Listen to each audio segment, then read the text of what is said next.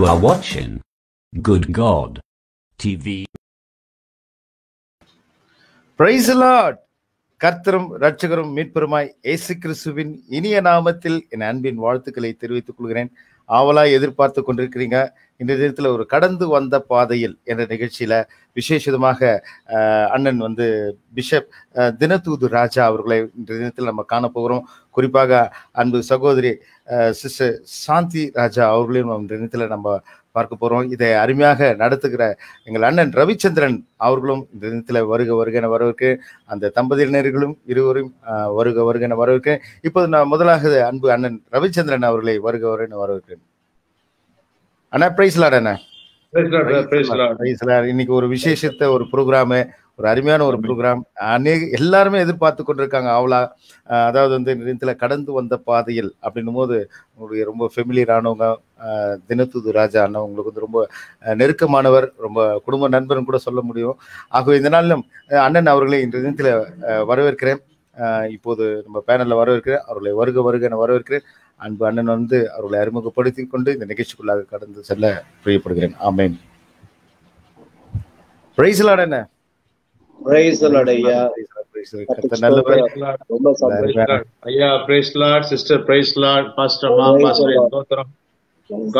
ரொம்ப நன்றி நிகழ்ச்சிக்கு உங்களை நாங்கள் வரவேற்கிறோம். ராஜன் நாங்களும் உங்களை வரவேற்கிறோம். எங்கள் மத்தியில நீங்க இந்த நாள்ல இருப்பது மிகுந்த மகிழ்ச்சி. உங்களோட busy ஷெட்யூல்ல we know that so busy among ministry and many part of things அப்படி இருக்க மத்தியிலும் நீங்க நேரத்தை ஒதுக்கி எங்க மத்தியில வந்திருக்க ரொம்ப நன்றி செலுத்துறோம். ராஜன் பிரதர் தொடர்ந்து நிகழ்ச்சிக்குள்ள போயிடும் ஓகே தொ- தொடர்ந்து நிகழ்ச்சிக்குள்ள போலானா இப்போது அன்பு அண்ணன் ரவிச்சந்திரன் அவர்கள் வந்து ஆரம்ப ஜபமா ஜெபித்த பிறகு அவர்களை அறிமுகப்படுத்தி இந்த நிகழ்ச்சிக்குள்ளாக கடந்து செல்வோம். கர்த்தர் நல்லவர். காட் பிளஸ் யூ தொடருங்களா ஆமென். நாம் ஜெபிப்போம்.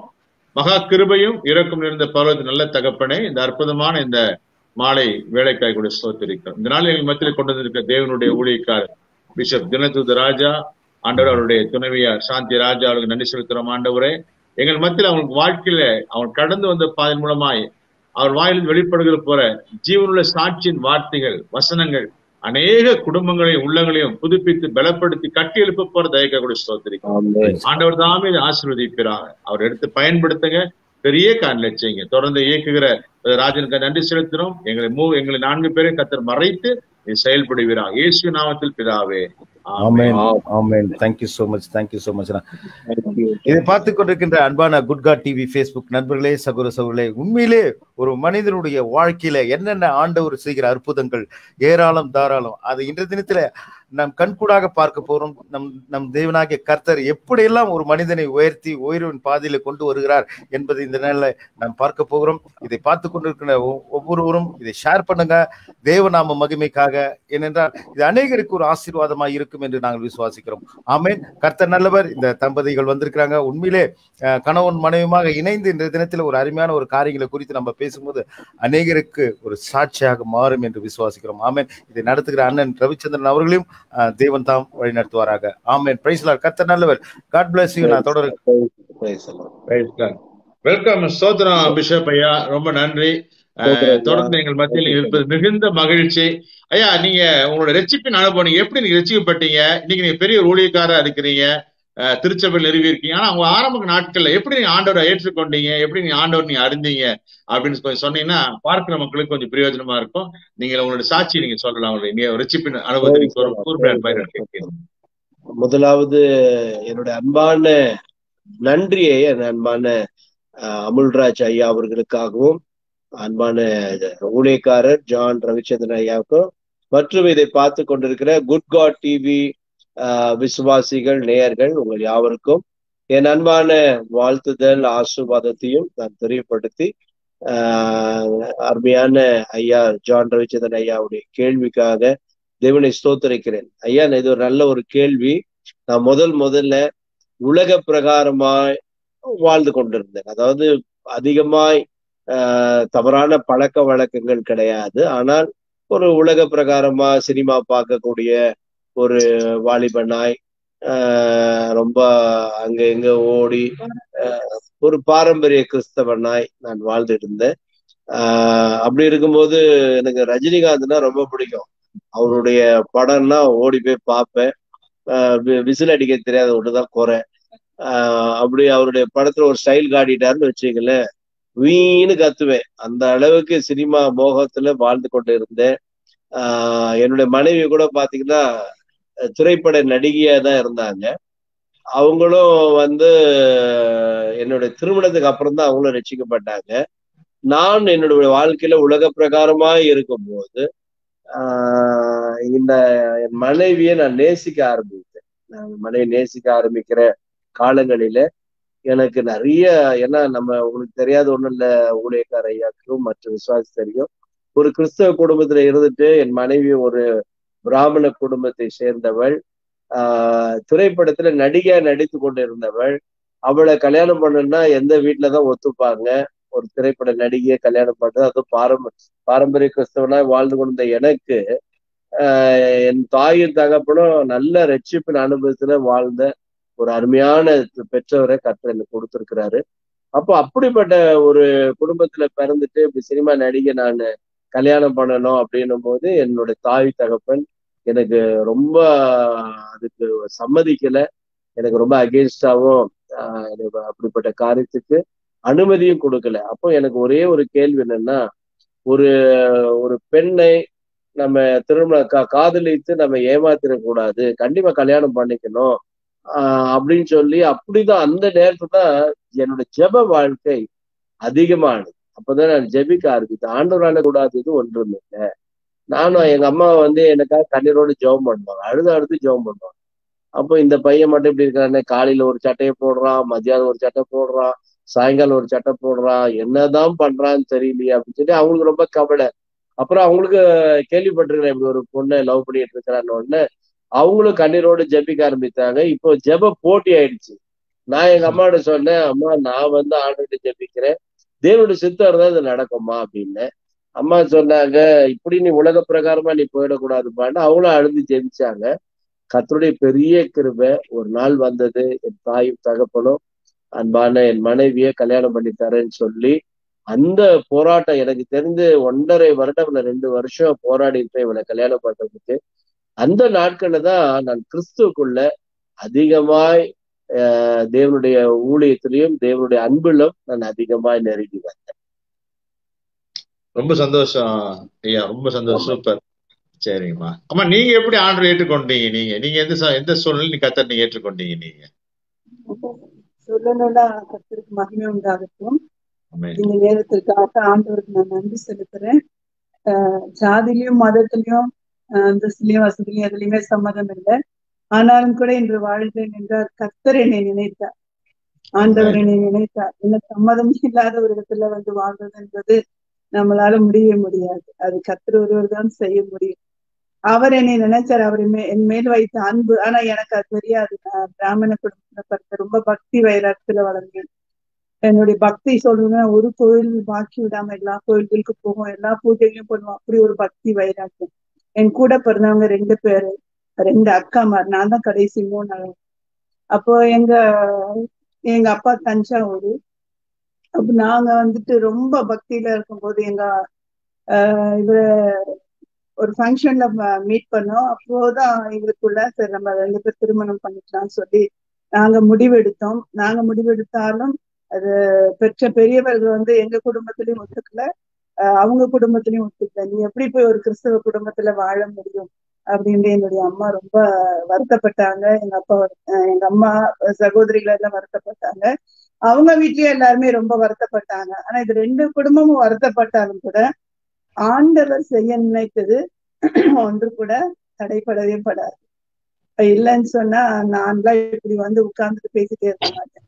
சினிமால வேற எப்படியோ போயிருப்பேன். ஆண்டவர் ஏற்றுக்கொள்ளல சொன்னா ஒண்ணு மறித்து போயிருக்கலாம் இல்ல அழிஞ்சு போயிருக்கலாம் எப்படியோ போயிருக்கலாம். ஆனாலும் இந்த பிழைத்திருப்பது கர்த்தருடைய கிருபை. அப்போ ரெண்டு குடும்பத்துல ரொம்ப அதிகமான பிரச்சனைகள் வந்தது. ஆஹ் திருமணத்துக்கு அவங்க சம்மதிக்கவே இல்லை. எவ்வளவு போராட்டம் வந்தது. ஆனாலும் எனக்கு ஒரு இது பெரியவங்க எங்க வீட்டுல சொல்றாங்க பெரியவங்க அவங்க குடும்பத்துல ஒத்துக்கிட்டாதான் நீ கல்யாணம் பண்ணணும் அப்படின்னு சொல்லி. எவ்வளவு போராட்டத்துக்கு பிறகு அவங்க பெரியவர்கள் அதை ஒத்துக்கொண்டாங்க. இது அவங்க ஒத்துக்கினாங்கன்னா ஒத்துக்க வச்சாரு ஆண்டவர் சொல்ல முடியும். ஏன்னா எல்லா காரணமே ஆண்டவராலதான் ஆஹ் நடந்ததுன்னு தான் நான் சொல்லுவேன். அப்படி அவங்க வந்து பெரியவங்க வந்து வீட்டுல பேசி அஹ், திருமணத்திற்கு நான் குறித்து சொன்னாங்க.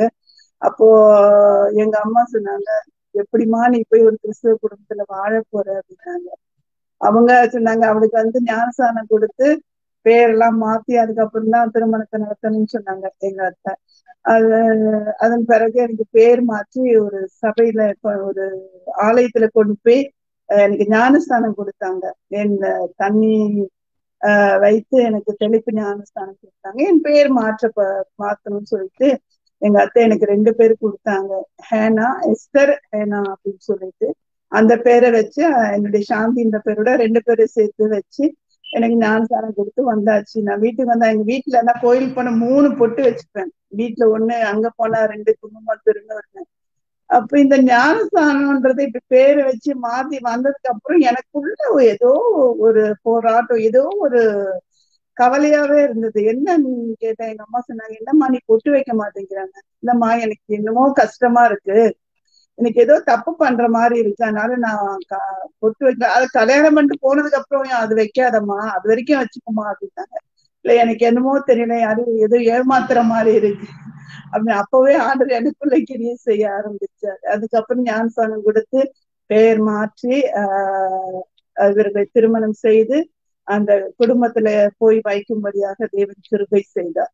அதன் பிறகு என் வாழ்க்கையில் நிறைய போராட்டங்கள் வந்தது. வாழ்க்கையை எழுந்து போகக்கூடிய சூழ்நிலை வந்தது. அப்போதான் நான் எங்க வீட்டுக்கு போய் நான் அழுதேன். நான் எவ்வளவு படங்களை வாங்கி மாட்டி வச்சு ஆஹ் நான் பூஜை பண்ணணும் அங்க போயிட்டு எனக்கு இவ்வளவு பிரச்சனை இருக்கு நான் சினிமாலையாவது நடிச்சிட்டு இருந்திருக்கலாம். அதையும் விட்டுட்டு திருமணம் செய்திப்ப அந்த வாழ்க்கை சந்தோஷம் இல்ல. அதனால எனக்கு என்ன பண்றதுனே தெரியல அப்படின்னு சொல்லி நான் கண்ணீரோட இருக்கும்போது எந்த பதிலுமே எனக்கு கிடைக்கல. அப்ப எங்க வீட்டுல நான் இருக்கும்போது புகுந்த வீட்லயும் ஆதரவு இல்லை பிறந்த வீட்டிலும் ஆதரவு இல்லை அப்படி ஒரு சூழ்நிலை எனக்கு இருந்தது. எல்லாவற்றையும் இழந்து போகக்கூடிய சூழ்நிலை எப்பவுமே சந்தோஷமா இருக்கும் நினைச்சு எப்பவுமே அழுதுகிட்டே இருக்கும்படியான ஒரு காலகட்டங்கள் வந்துச்சு. அப்பதான் நான் என்ன செஞ்சேன்? சரி இந்த உலகத்துல எதுக்கு நம்ம வாழணும்? வாழ்றதை விட சாகிறதே மேல். இப்படி எல்லாவற்றையும் இழந்து போகணுமா வாழ்க்கையிலன்னு சொல்லி கண்ணீரோட இருந்தேன். ஏன்னா ஒரு குற்றமும் இல்லாமல் எல்லாராலும் நான் பகைக்கப்பட்டேன் எல்லாராலும் ஒதுக்கப்பட்டேன். அப்படி இருக்கும்போது மன வேதனை ரொம்ப அதிகமா சாகணும்னு நினைக்கும் போதுதான் ஆண்டவர் என்னோட கூட பேசினார் இதெல்லாம் நடந்தது நான் நல்லதுக்குன்னு தான் நினைக்கிறேன். ஏன்னா அப்பதான் என் ஜீவனுள்ள தேவன் இவர் என்பதை அறிந்து கொள்ளும்படி உணர்ந்து கொள்ளும்படி அவர் எனக்கு கிருபை செய்தார். ஆஹ் இவர் தான் எல்லாவற்றையும் எனக்காக செய்து முடித்தார். நான் ஆலயத்துல போய் உட்கார்ந்து அழுது கொண்டிருக்கும் போது அப்ப ஆண்டவர் என்னோடு பேசின கலங்காதே திகையாதே நானே உன் தேவனாகிய கர்த்தர் உனக்காக நான் யுத்தம் செய்தேன். அப்ப அன்று போதகர் பேசுகிறார் நீ அமர்ந்து நான் உனக்காக யுத்தம் செய்தேன்.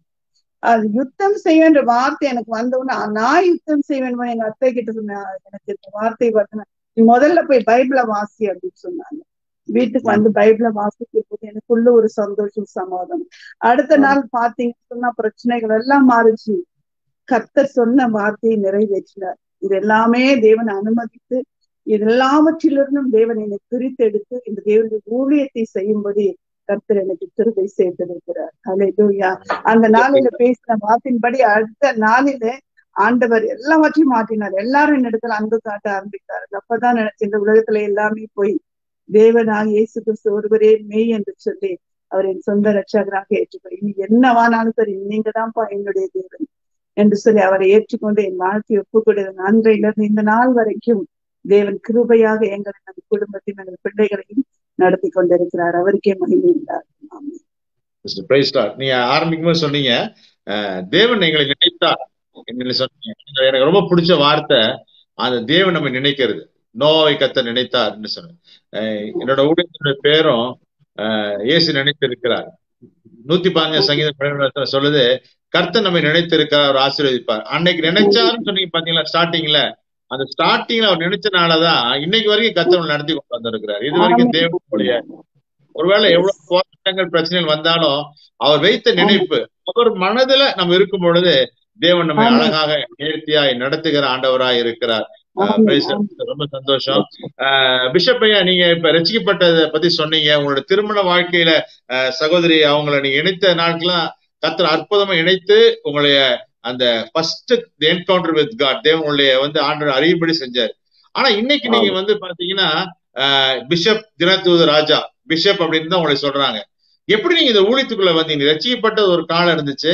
ஆனா நீங்க எப்படி இந்த ஊழியத்துக்கு வந்தீங்க அதை நீங்க கொஞ்சம் சொல்லுங்க. அதுக்கப்புறம் தொடர்ந்து நான் சில கேள்வி பதில் கேட்க நான் விரும்புகிறேன் எனக்கு சின்ன வயதுல இருந்தே ஒரு குணம் உண்டைய அதாவது என்னுடைய அன்பான தாய் தகப்பனுக்கு ரொம்ப நான் கொடுக்க வேண்டிய கனத்தையும் அன்பையும் மரியாதையும் நான் பெத்த தாய் தகப்பனுக்கு ரொம்ப கொடுப்பேன்.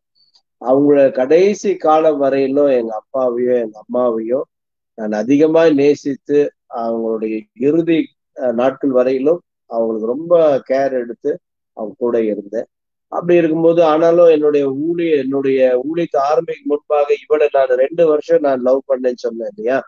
அந்த நாட்கள்ல நான் பட்ட பாடுன்னா ஒரு கெட்ட குமாரனை போல வீட்டை விட்டு வெளியேறி கெட்டினா இந்த அம்மா தான் கட்டணும் அப்படின்னு சொல்லி ரொம்ப பிடிவாதம் பண்ணிட்டு ஒரு கெட்ட குமாரன் சொல்லலாம். கெட்ட குமாரன் எல்லாவற்றையும் அடித்து போட்டான். ஆனால் அப்படி இல்லை.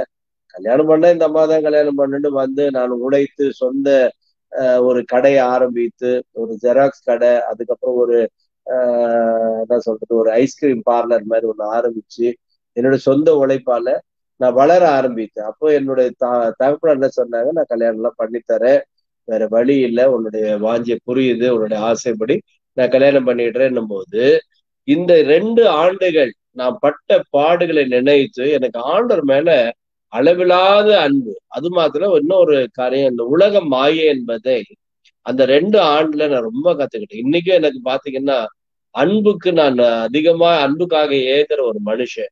அன்புனா எனக்கு ரொம்ப பிடிக்கும். மனிதர்களிடத்துல அன்பா இருப்பது மனுஷங்களை அதிகமா ஆஹ் நேசிப்பது மனிதர்களுக்கு உதவி செய்வது ஏழை எளியவர்களுக்கு உதவி செய்வது திக்கற்ற பிள்ளைகளுக்கு உதவி செய்வது அப்படி இருந்து அப்படிப்பட்ட இருதயம் எனக்கு சின்ன வயதிலே இருந்தது. இப்போ அந்த அப்படிப்பட்ட ஒரு நல்ல இருதயம் உள்ளவர்களை தேவன் தனக்கென்று தெரிந்து கொள்வார் என்பதை நான் இப்பதான் புரிஞ்சுக்கிட்டேன். அப்படியா இருந்த நான் ஆண்டவர் என்னை அறிந்து என்னை முன்குறித்து என்னை தே தே என்னை தேடி வந்தார் அப்படிதான் சொல்லணும்.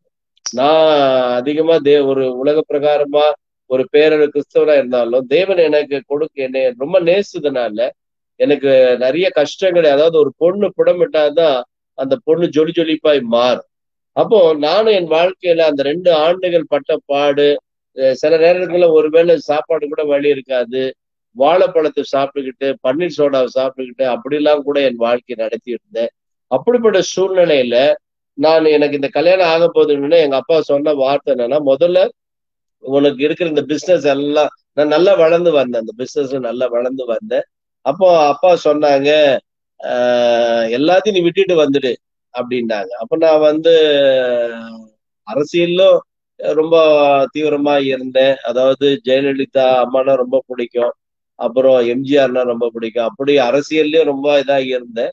ஆஹ் அப்புறம் இப்படி உலக பிரகாரமான சினிமா துறையிலையும் பாத்தீங்கன்னா எங்க தினத்துது பத்திரிகை நடத்தி இருந்தோம் தினத்துது பத்திரிகை பாத்தீங்கன்னா அப்போ வந்து ரட்சிப்பின் ஆன்மீக தூது என்பதை நாங்கள் வெளியிடல. அப்போ வந்து உலக பிரகாரமான ஒரு பேப்பரா தான் இருந்தது. அதுல சினிமா செய்தி எல்லாம் போட அதனால சினிமாக்காரங்கிட்டே எனக்கு நல்ல பழக்கம் உண்டு. அரசியலும் நல்ல பழக்கம் இருந்தது. என்னை அதிகமாய் நமது முன்னாள் முதலமைச்சர் செல்வி ஜெயலலிதா அம்மா அவர்கள் என்னை அதிகமா நேசிப்பாங்க. நானும் அவங்க கிட்ட ரொம்ப அன்பா இருப்பேன். என்னுடைய கல்யாணத்தையும் அவங்க தான் வந்து நடத்தி வச்சாங்க. எங்களுடைய திருமணம் நீங்க பாத்தீங்கன்னா நான் ஆண்டுடைய பிள்ளை என்பதனால அந்த திருமணம் நடந்த நாளே பாத்தீங்கன்னா ரொம்ப ஆசீர்வாதமா இருந்தது. எப்படின்னா டாக்டர் டி ஜனன் ஐயாவும் மற்றும் அன்பான முதலமைச்சராக அன்று முதலமைச்சராக இருந்த டாக்டர் ஜெயலலிதா அம்மா அவர்களும் மற்றும் எல்லா அரசியல் தலைவர்களும் மற்றும் அமைச்சர்கள் எம்பிக்கள் அப்புறம் அப்பொழுது இருந்த கவர்னர் எல்லாருமே வந்திருந்தாங்க. அப்போ நான் அன்னைக்கு அந்த திருமண வைபவத்துல பேசும்போது கூட நான் என்ன பேசினேன்னா என் கண்களுக்கு இவங்கெல்லாம் வந்து எப்படின்னா ஜெயலலிதா சுற்றி பாத்தீங்கன்னா பிளாக் கேட்ஸ் நின்று இருந்தாங்க. அப்ப நான் சொன்னேன் என் கண்களுக்கு பாத்தீங்கன்னா எல்லா தெய்வத்தூதர்களை போல தெரிகிறது. ஏன்னா என் திருமணத்தை நடத்தி வைப்பது தேவன் ஒருவர் தான் அப்போ நான் என் வாழ்க்கை அன்னைக்குதான் நான் முடிவு எடுத்தேன். அன்னைக்கு ராத்திரி இயேசுவின் ஊழியம் என்கிற ஒரு ஊழியத்தை என்னுடைய திருமண நாள் அந்த முதல் இரவு நான் அந்த இயேசுவின் ஊழியம் என்ற பெயரை நானே ஆண்டவர்கிட்ட பேசுறேன். ஆண்டவரை செஞ்சா இயேசுக்கு மட்டும்தான் நான் ஊழியம் செய்வேன். என் வாழ்க்கை இன்னையில இருந்து என் வாழ்க்கை இயேசுக்காக. அப்படி சொல்லி நான் ஆண்டரோடு பேசி நான் ஒப்பு கொடுத்து நான் ஊழியத்துக்கு வந்தேன். இந்த ஊழியத்துக்கு நான் வந்த நாட்கள்ல இருந்து தேவனுக்கு வய எப்போ பார்த்தாலும் நான் நிறைய பாடல் கூட எழுதியிருக்கிறேன். என்னோட பாட்டுல கூட பாத்தீங்கன்னா ஏச நம்பித்தான் நான் பிறந்திருக்கேன். ஏசு இல்லாத ஒரு பாட்டே இருக்காது. ஏச நம்பித்தான் வந்திருக்கிறேன். அப்புறம் இன்னொரு பாடல் உண்டு. ஏசப்பா என்னால எனக்கு தான். அவர் அன்பை அள்ளி தந்ததுனால் சந்தோஷம்தான் அப்படின்னு ஒரு பாட்டு. அதுக்கப்புறம் இயேசு ராஜா ஆஹ் அப்படின்னு ஒரு பாடலை எழுத ஆரம்பித்தேன். அப்படி ஒவ்வொரு பாட்டிலையும் பாத்தீங்கன்னா இயேசு ஏசு இயேசுன்ட்டு அதனாலதான் என் ஊழியத்து பேரும் இயேசுவின் ஊழியம் என்று சொல்லி அந்த கனமான ஊழியத்தை ஆரம்பித்து ஆஹ் இந்த கஷ்டப்பட்ட ரெண்டு ஆண்டுகள்ல நான் அடிக்கடி நான் அப்பவும் சொன்னேன் ஒரு ஒரு நேரம் சாப்பாட்டு கூட கஷ்டப்பட்டு கொண்டு இருந்தது நல்ல வசதியான குடும்பம் தான் ஆனா இந்த இவனை நான் நேசத்தினால எனக்கு அதிகமான பண உதவி யாரும் செய்யல. என் சொந்த பந்தங்கள் கூட எனக்கு செய்யல. நான் இவளை கல்யாணம் பண்ணதுக்கு அப்புறம் கூட ஒரு நூறு ரூபாய்க்கு நான் கஷ்டப்பட்ட நாட்கள் உண்டு. என் வாழ்க்கையில ஏன்னா ஊழியத்துக்கு ஒப்பு கொடுத்துட்டேன். ஊழியத்துக்காக வந்துட்டேன். எங்க அப்பா சொல்லுவாங்க ஆஹ் நீ வந்து ஊழியம் செய்யறதுனால ஆண்டு தான் உன்னை நடத்தணும். ஆண்டதான் உன்னை போஷிக்கணும் அப்படின்னு சொல்லிட்டாங்க. அதனால எனக்கு கையில பணமும் இருக்காது. ஆனா ஒரு வார்த்தை உண்டு. ஆஹ் பேரு பெத்த பேரு ஆனா நான் தகர டபுள் ஏது அப்படின்னுவாங்க. அதாவது தெலுங்குல சொல்லுவாங்க. பேரு பெத்த பேரு டபுள் ஏது அந்த மாதிரி பேரு பாத்தீங்கன்னா சின்ன நான் ஊழியத்தின் ஆரம்பத்திலேயே ஆண்டர் என்னை உயர்வா கொண்டு போனார். அப்ப தினத்தூது பத்திரிகையில ஆன்மீக தூதுன்ட்டு ஆரம்பித்தோம். ரசிக்கப்பட்ட பாலியாக்கிச்சோ வராரு. பாலியாக்கிச்சோ கையில நான் எங்க அப்பாவும் நானும் ஓடி போய் அந்த பேப்பரை போய் கொடுத்து இன்னையில இருந்து இந்த பேப்பர் பேப்பரே ரசிக்கப்பட்டுடுச்சு. எந்த விதமான சினிமா நியூஸ் வராது எந்த விதமான ஜோஷியமோ எதுவுமே இதுல வராது. வெறும் தேவனுடைய வார்த்தை நாலு பக்கம் வரும். உலக பிரகாரமான உலக செய்திகள் ஒரு நாலு பக்கம் வரும். சினிமா செய்திகள் போன்ற தேவையற்ற செய்திகள் இந்த பேப்பர்ல வராதுன்னு சொல்லி அப்போ அந்த பேப்பரை ஆரம்பித்து என் ஊழியத்தை கர்த்தர் பாருங்க என்னை கனப்படுத்தி என்னை அற்புதமாய் ஒவ்வொரு பாதையிலும் எழுதி எங்க அம்மா சொல்றாங்க டே ஊழியத்தை செய்ய ஆரம்பிச்சுட்டு நான் ஊழியம் செய்ய ஆரம்பிச்ச உடனே என் மனைவியும் ரசிக்கப்பட்டு அவங்ககிட்ட நீங்க ரசிக்கப்படணும் ஒரு நாள் சொல்ல மாட்டேன். ஏன்னா we should not compel any one to accept the Lord but we have to be a testimony to others to and make them to accept the Lord அப்போ நான் ஒரு சாட்சியா இருந்த போது அவளுக்கு ஒரு ஆசை வந்தது. ஏசுன்னு பத்தி நான் நிறைய கேள்விப்பட்டிருக்கிறேன். நானும் ரசிக்கப்படும் ரசிப்புனா என்ன? அப்போ நான் சொன்னேன் நம்ம ரெண்டு பேரும் மூழ்கி ஞானஸ்தானம் பெறலாம் அப்படின்னு சொல்லி எங்களுடைய திருச்சபை ஏஜி திருச்சபையில நான் ரட்சிப்பின் அனுபவத்தை பெற்று நான் மூழ்கி ஞானஸ்தானம் பெற்று நானும் அவளும் மூழ்கி ஞானஸ்தானம் பெற்று இயேசுவின் ஊழியம் என்ற கனமான ஊழியத்தை செய்ய ஆரம்பித்தேன். அப்படிதான் ஊழியத்துக்கு வந்தேன் ஐயா. சோதரியா ரொம்ப நன்றி. அற்புதமா சரி இப்ப இந்த உங்களுடைய பெயர் பாத்தீங்கன்னா உங்களோட பெயர் வந்து இயற்பெயர் ரமேஷ்குமார் நான் நினைக்கிறேன் நானு. இந்த ராஜ் ஒட்டி தினத்தூது ராஜா ராஜா. எனக்கே அது ஒரு பெரிய ஆசை. அதாவது சொல்லணும்னு ஆசை. என்னன்னா நான் முதல் முதல்ல என் பேர் வந்து ரமேஷ்குமார் தான் எங்க அப்பா கொடுத்த பேர். ஆனா எங்க அப்பாவே என்னை ஒரு நாளும் ரமேஷ்குமார் கூட மாட்டாங்க. என்னை செல்லம்மா நான் ரொம்ப அன்புள்ள மகன். எங்க அப்பாவுக்கு எல்லாருமே எங்க அப்பாவுக்கு ஐந்து பிள்ளைங்க. நாங்க மூணு பிள்ளை நான் மூணாவது மகன் எங்க ரெண்டு அண்ணன் எனக்கு மேல கீழே ரெண்டு தங்கச்சி.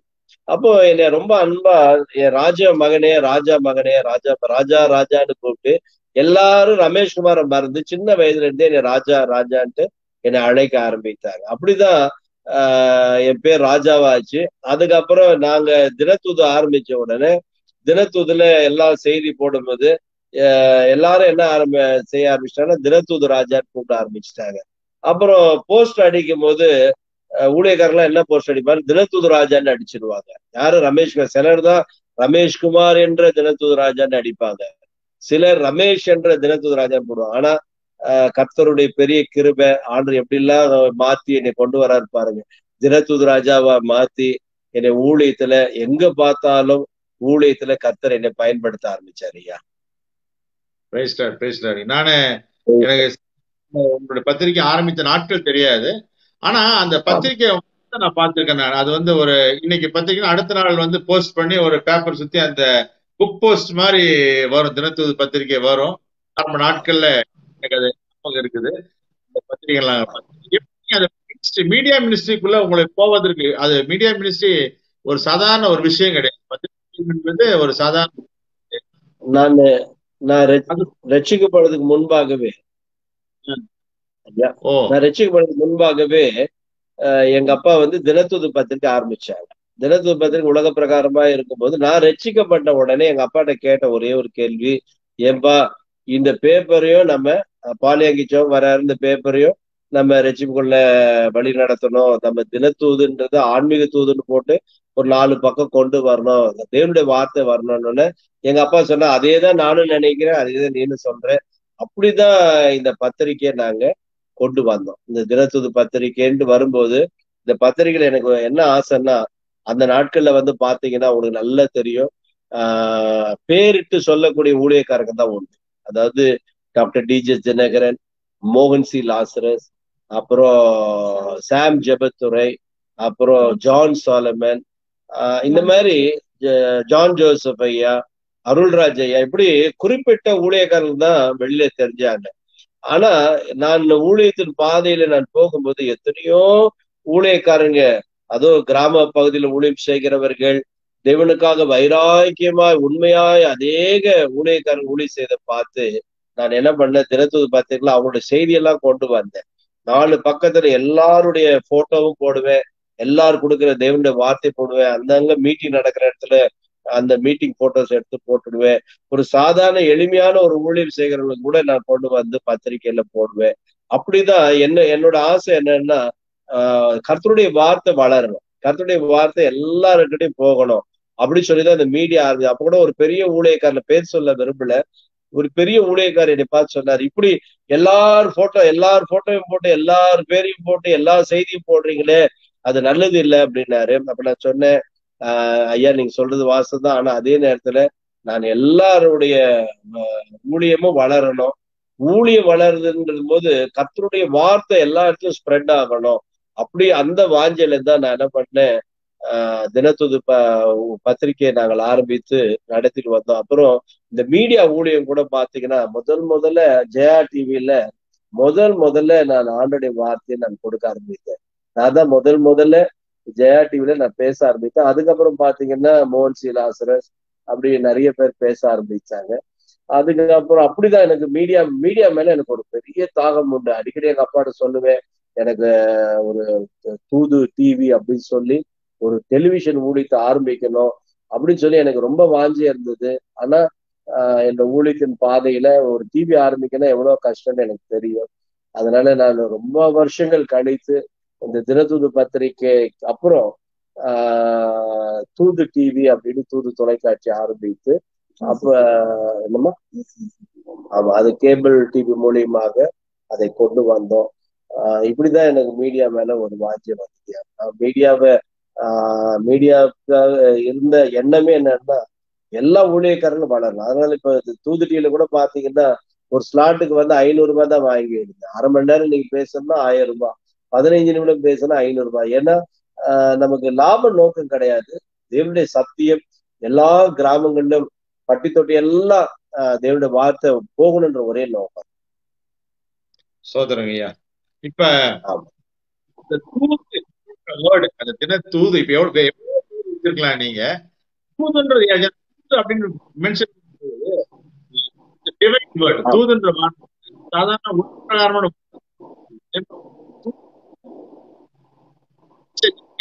மெசேஜ் கொண்டு வருவாங்க தேவனுக்கு வார்த்தை கொண்டு வரத தூதன் பொதுவா நம்ம சொல்றோம். நீங்க எப்படி தூதுன்ற வார்த்தை அந்த அந்த வார்த்தை வந்து எங்க அப்பா தான் அந்த பேர் செலக்ட் பண்ணாங்க ஐயா. அதாவது எங்க அப்பாவுக்கு கிறிஸ்துவ பேர் இருக்கணும். அப்போ தூதன். தூதன் தான் தூதை கொண்டு வர முடியும். தேவனுக்கு ஒரு நற்செய்தியை கொண்டு வரணும்னா அது தூதனாலதான் ஒரு செய்தியை கொண்டு வர முடியும். அதனால ஆஹ் என் தகவல் என்ன பண்ணாங்க? தின தூதன் அப்படின்ட்டு போடணும்னு தான் ஆசைப்பட்டாங்க. ஆனா தின தூதன் அப்படின்னு சொல்றதை விட தூது அப்படின்னு போட்டா அது உலக பிரகாரமான ஒரு பத்திரிக்கை. அதனால தின தூதுன்னு நம்ம போடுவோம். அப்படி சொல்லிதான் அந்த பேர் வந்தது. அப்படி அப்படி வந்த பேர் தான் அந்த தின ஐயா சூப்பர். ரொம்ப சந்தோஷம் ஐயா. தொடர்ந்து வந்து நீங்க இப்ப சபைகள் வந்து ஸ்தாபிச்சிருக்கீங்க நம்புறேன் நானு. இப்ப நீங்க பிஷப் அப்படின்னு சொல்றீங்க. இருந்து சபை ஸ்தாபிக்க முடியும். நீங்க சுவிசேஷ பயணத்தை ஆரம்பிச்சீங்க? எப்படி இன்னைக்கு சபை ஸ்தாபிக்கக்கூடிய ஒரு நிலைக்கு நீங்க வந்தீங்கன்றத நீங்க நான் கேட்கிறேன் ஆமா ஐயா அதாவது முதல் முதல்ல ஒரு சுவிசேஷகன்னா என்னோட ஆசை என்னன்னா ஆரம்பத்துல எப்படின்னா ஐயா முதலே எடுத்தோடனே செய்தி எல்லாம் கொடுக்க நான் போல. ஏதாவது கூட்டத்துல போய் சாட்சி சொல்ல கூடுவாங்களா அப்படின்னு கா காத்துட்டு இருப்பேன். அப்போ வந்து தொட்டண்ணா ஐயான்ட்டு நல்ல உலகத்தை கலக்கிட்டு இருந்தாரு. அப்போ தொட்டண்ணா ஐயா கூட்டத்தெல்லாம் போய் தொட்டண்ணா எப்படி ஒரு மந்திரவாதி ஆச்சு அவர் எப்படி இருப்பாரு? அப்படி இப்படி பார்க்க தான் போயிருந்தேன். ஆண்டுடைய வார்த்தையை கேட்கணும். அவர் பார்க்கணும் அப்படி போகும்போது அங்க வந்து என்னை பார்த்த உடனே ஓ தினத்துது பத்திரிகை ஓனர் இவர் அப்படின்னு சொல்லி எங்க கிரவுண்ட்ல ஒரு ஓரமா உட்காந்து செய்தியை கேட்டு எடுத்த என்னை கொண்டு போய் தினத்துது பத்திரிகை ஓனர் சொல்லிட்டு போய் முன்னாடி உட்கார வச்சுட்டாங்க. அப்போ அந்த நேரத்துல தொட்டன் ஐயா கேட்கிறாரு சாட்சி கொடுங்க எனக்கு சாட்சின்னா ரொம்ப ஆசையா இருக்கும். சாட்சி கொஞ்சம் பகிர்ந்துக்குங்க ஐயா அப்படின்னாரு. சரிட்டு போய் சாட்சியை சொல்ல ஆரம்பித்தேன். இப்படியே எல்லா இடங்கள்ல என்னை பயன்படுத்த ஆரம்பிச்சாங்க. சாட்சி சொல்ல ஆரம்பிச்சேன்னா ஆஹ் ஒரு அருமையான ஒரு போதகர் அதாவது அவர் பேர் இப்ப வந்து பிஷப் டி இது என்ன சர்ச்சு டிஎல்சி என்ன? நல்ல ஒரு சபை பேர். அதுதான் முதல் முதல்ல அந்த ஊழியக்காரர் என்ன? அட்வென்ட் சர்ச் மன்னிக்கணும் Advent Church Advent Church bishop அப்பொழுது உள்ள அந்த பேராயர் என்னை வந்து பார்த்து நீங்க செய்தி கொடுக்கணும் அப்படின்னாரு. நான் சொன்னேன் ஐயா நான் சாட்சி தான் சொல்லிட்டு இருக்கிறேன். ஆள்ரை பத்தி எனக்கு ரொம்ப தேவன் மேல ரொம்ப அன்பு உண்டு. அப்ப சொல்றாரு அதை பார்த்துதான் நான் சொல்றேன் ஐயா நீங்க செய்தி கொடுக்கணும் அப்படின்னாரு. முதல் முதல்ல என்னோட செய்தி வந்து ஆஹ் என் ஆத்துமாவே கத்தரை ஸ்தோத்திர என்ற அந்த வசனத்தை வைத்து நான் முதல் முதல்ல ஒரு ஆஹ் செய்தி நான் கொடுக்க ஆரம்பித்தேன். தேவனுடைய வார்த்தையை நான் பகிர்ந்து கொண்ட அந்த நாளை நான் மறக்க அதே மாதிரி என்னுடைய ரட்சிப்பினால கூட நான் மறக்க மாட்டேன். ஆயிரத்தி தொள்ளாயிரத்தி தொண்ணூத்தி ரெண்டு நவம்பர் நாலாம் தேதி அந்த இரவு நான் ரட்சிப்பின் அனுபவத்தை பெற்றேன். அப்போ நான் வந்து இப்படி செய்தி கொடுக்க ஆரம்பிக்குமோ இதெல்லாம் ஆண்டுடைய நடத்துதுன்னு நான் புரிஞ்சுக்கிட்டேன். நான் செய்தி கொடுக்க ஆரம்பிச்சதுக்கு அப்புறம் ஒரு சுவிசேஷகனா உலகம் முழுவதும் என்னை பயன்படுத்த ஆரம்பித்தார். கொஞ்சம் குறை எங்க அம்மாவே சொல்லுவாங்க குறுகிய நாள்ல எங்க பார்த்தாலும் உன் போஸ்டர் இருக்குதுடா எங்க பார்த்தாலும் உன் பேர் இருக்குது அப்படின்னு சொல்லுவாங்க. அப்ப நான் சொன்னேன் எல்லா இந்த புகழும் தேவன் ஒருவருக்கு தான்மா ஆண்டவர் தான் பயன்படுத்துறாருமா அப்படின்னு சொல்லி இப்படி பயன்படுத்திட்டே இருக்கும்போது ஒரு ஊழியக்காரர் என்னுடைய தகப்பனார் சர்ச்சு வச்சிருந்தாங்க. எங்க அப்பா சர்ச்சில் நான் பேசிட்டு இருக்கும்போது இன்னொரு ஊழியக்கார் பேசும்படியா தேவன வார்த்தை கொடுக்க அந்த ஊழியக்கார் என் தலையில கை வச்சு இந்த கல்லின் மேல் என் சபையை நான் கட்டுவேன் அப்படின்ட்டு திருப்பி திருப்பி என்னை பார்த்து சொன்னாரு. அதே போல இன்னொரு ஊழியக்காரர் எங்க வீட்டுக்கு வந்தவரும் சொன்னாரு இப்படி உங்க அப்போ இன்னொரு ஊழியக்காரரும் வந்து என்கிட்ட சொல்றாரு நீங்க வந்து ஒரு வல்லமையான ஒரு ஊழியக்காரரா வருவீங்க அப்படின்ற நான் வந்து சுவிசேஷகரா என் பயணம் போயிட்டே இருக்குது. எங்க அப்பா ஒரு நாள் என்னை கூப்பிட்டு எப்பா நான் பிஷப் எங்க அப்பா பிஷப்பா இருக்கிறாங்க. அப்போ எங்க அப்பா சொன்னப்பா நான் பிஷப்பா இருக்கிறேன். என் காலங்களுக்கு அப்புறம் இந்த ஊழியத்தை நீ தான் நடத்தணும். அதனால I going to order you as a reverend அப்படின்னாங்க அப்ப நான் ரொம்ப வருத்தத்தோடு சொல்றேன். அப்பா நான் பட்டி தொட்டி கிராமம் அப்புறம் எல்லா ஊர் ஊரா போய் அதுக்கப்புறம் உலகம் முழுவதும் போய் நான் ஆண்டுடைய வார்த்தையை நான் கொடுத்துட்டு இருக்கிறேன். உலகம் சுற்றுகிற வாலிபனை போல நான் சுத்திட்டு இருக்கிறேனப்பா என்னை போய் ஒரே கூண்டுக்குள்ள ஒரு சர்ச்சுக்குள்ள போய் அடைச்சி போடணும்னு நினைக்கிறீங்களே? இது உங்களுக்கே நல்லா இருக்குதாப்பா? அப்புறம் அங்கி வேற போட சொல்றீங்கப்பா. அங்கி போட்டா எனக்கு ரோமா இருக்குதுப்பா அப்படின்னு சொன்னேன். அப்ப எங்க அப்பா என்னை கெட்டி பிடிச்சி எனக்கு ஜெபம் பண்ணிட்டு அப்பா சொல்றாங்க எப்பா என் காலத்துக்கு அப்புறம் நீ திருச்சபை ஊழியத்தை நீ தான் நடத்தணும். அதனால நான் இப்பவே உன்னை ஆர்டைன் பண்ணணும். அப்படின்னு சொல்லி சொல்லும் போது சரிப்பா நான் கண்டிப்பா நான் ஏன்னா அப்பா சொல்ற வார்த்தைக்கு நான் ஒரு நாள் தடை சொல்ல மாட்டேன். அப்பா என்ன சொன்னாலும் சரி கேட்டு சரிப்பா நீங்க என்ன ஆர்டைன் பண்ணுங்க சொல்லி நீங்க ஒரு ரொம்ப சிரிப்பான ஒரு விஷயம். நான் முதல் முதல்ல வச்சுக்க இது ரெவரண்ட் ஆகி நான் அங்கேயே போட்டுட்டு வந்து போட்டோ செக்ஷன் நடக்குது போட்டோ எடுத்துட்டு ஒரு குழந்தை என்னை பார்த்து சொல்லுது ஏதோ கிறிஸ்துமஸ் தாத்தா வந்துருச்சு. கிறிஸ்துமஸ் தாத்தா கிறிஸ்துமஸ் தாத்தா எனக்கு எனக்குன்னா ஒரே வெக்கமா இருக்குது. அங்கேயே போட்டு நிக்கிறேன். கிறிஸ்துமஸ் தாத்தா கிறிஸ்துமஸ் தாத்தான்றாங்கன்னு சொல்லி ஒரே தமாஷா இருந்தது. ஆனாலும் அந்த அங்கி பரிசுத்தமான அந்த அங்கியை போட்டதுக்கு அப்புறம் ரொம்ப தைரியமா நான் தேவனுடைய ஊழியத்தை ஒரு ரெவரண்டாய் ஒரு சபை மெய்ப்பண்ணாய் நான் ஊழியத்தை செய்ய ஆரம்பித்தேன். அதுக்கப்புறம் பாத்தீங்கன்னா கொஞ்ச காலங்கள்ல எங்க அப்பா மறித்து போகுது எங்க அம்மா வந்து கேட்டாங்க அப்பா எப்படிப்பா இதை பண்ணணும்? அப்ப நான் சொன்னேன் நீ தானே பிஷப் ஆகணும் அப்படின்னு எங்க அம்மா சொல்லும்போது அப்ப நான் சொன்னேன் அம்மா எனக்கு நான் பேராயர் ஆன விளையாட்டு இல்லாம ஒரு பேராயர் சும்மா இஷ்டத்துக்கு பேராயர் ஆயிட முடியாது. அது எல்லாருமே வந்து நாமினேட் பண்ணணும் எல்லாம் எலெக்ட் பண்ணணும் பிரைம் பாசஸ் எல்லாம் கூப்பிட்டு பேசணும். அது மாத்திரம் இல்லப்பா என்னை என்னுடைய ஆசை என்ன தெரியுமாம்மா நானு இந்த பதவிக்கு நான் தகுதி உள்ளவனா இருப்பேன்னா ஆண்டவர் எனக்கு ஒரு நான் ஆண்டவர்கிட்ட ஒரு வார்த்தை கேட்கணுமா? ஆண்டவர் வந்து சகோதரி டிஜிஎஸ் தினன் ஐயா வரேன்னு சொன்னாங்க. என்னோட ஆர்டினேஷனுக்கு என்னுடைய கான்சிகரேஷனுக்கு அவங்க வருவேன்னு சொன்னா இது தேவனுடைய சித்தம் வரமாட்டேன்னாங்கன்னா இது தேவ சித்தம் இல்லை அப்படின்னு சொல்லிட்டு போய் டேட் கேட்கறதுக்கு போயிருந்தேன். எனக்கு அந்த நாள்ல எனக்கு ஐயாவை பார்க்க முடியல. அப்படின்னு நான் திரும்பி வந்துட்டேன். வரும்போது நான் சந்தோஷமா என் மனைவிட்ட சொல்றேன். பார் நான் வந்து பிஷப் ஆகுது ஆண்டவருக்கு இஷ்டம் இல்லை அதனால டிஜிஎஸ் ஐயாவே எனக்கு அப்பாயின்மெண்ட் கொடுங்க நான் வந்துட்டேன் அப்படின்னு சொல்லும் போது என் மனைவி தெளிவா சொன்னா ஆண்டவர் வந்து என்கிட்ட தெளிவா சொல்றாருப்பா நீங்க தான் பிஷப்பா இருந்து திருச்சபைகள்லாம் நடத்தணும் அப்படின்னு சொல்லி சொல்றான் அப்படி ஆண்டவருக்கு அது சித்தமா இருந்ததுன்னா நிச்சயமா ஆண்டவர் வந்து டிஜே சரண் ஐயாவை கண்டிப்பா எங்களை பேச வைப்பார் அப்படின்னு சொல்லி சொல்லி அன்னைக்கு இரவே என்னுடைய ரெவரண்ட் ஒரு ஆயர் போன் பண்றாரு. ஐயா ஒரு சந்தோஷமான செய்தி. நீங்க போயிருந்தீங்களா? பிஷப் பார்க்க முடியல இல்ல இது டிஜே சரண் ஐயா பார்க்கல இல்ல ஆனா டிஜே சரண் எனக்கு போன் பண்ணாங்க. தினத்தூர் ராஜா சொல்லு. நான் வந்து கான்சிகரேஷனை நான் கலந்துப்பேன்னு சொல்லு.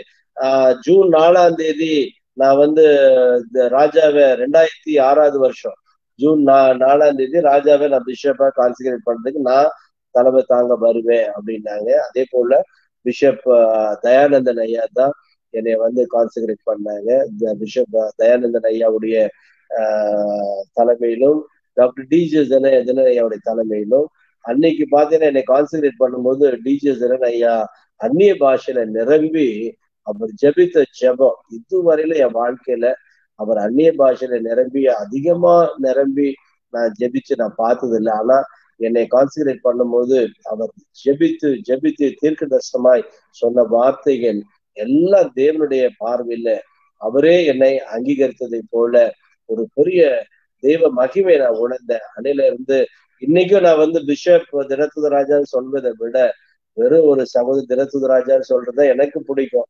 ஆனா கர்த்தர் செய்ய நினைத்தது தடைபடல. கர்த்தர் என்னை ஒரு ஊழியக்காரனாய் அங்கீகரித்து பின்பு சுவிசேஷகனாய் அங்கீகரித்து பின்பு ஒரு ஆஹ் பிஷப்பாய் தேவன் அங்கீகரித்திருக்கிறார். ஆக அவர் அழைச்சிட்டு போற வழியில நம்ம பாடு பயணம் செய்யறோம் கர்த்தர் அழைத்த தேவன் பயன்படுத்துகிறார் ஐயா. யோவான் பதினஞ்சு பதினாறு சொல்றது நீங்கள் என்னை தெரிந்து கொள்ளவில்லை நான் உங்களை தெரிந்து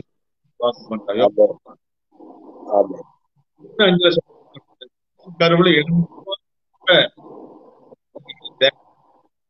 நியமித்தன்னு சொல்லி இறைமையாக சொல்றாரு. அப்ப இந்த ஊழியத்துக்கு வரோம். ஆண்டவர் அறியாத நாட்கள நம்ம ரசித்தாரு அப்புறம் சுவிசேஷனா வந்தோம். அப்புறம் இன்னைக்கு மெய்ப்பனா ஒரு போதகனா ஒரு பிஷப்பா கத்துல உருவாக்கி இருக்காருன்னா இதெல்லாம் வந்து ப்ரீ டிஸ்டைன் பை காட் ஏற்கனவே தேவனால் திட்டம் பண்ணப்பட்ட தோற்றத்துக்கு முன்பாகவே தேவன் திட்டம் பண்ணியதுனாலதான் அந்த பாதையில தேவன் நம்மை கொண்டு வந்து நிச்சயமா நம்புற பிஷப் ஐயா. ரொம்ப சந்தோஷம். நீங்க சொல்லுங்க சொல்லுங்க. இல்ல ஐயா சொல்லுங்க ஐயா சொல்லுங்க.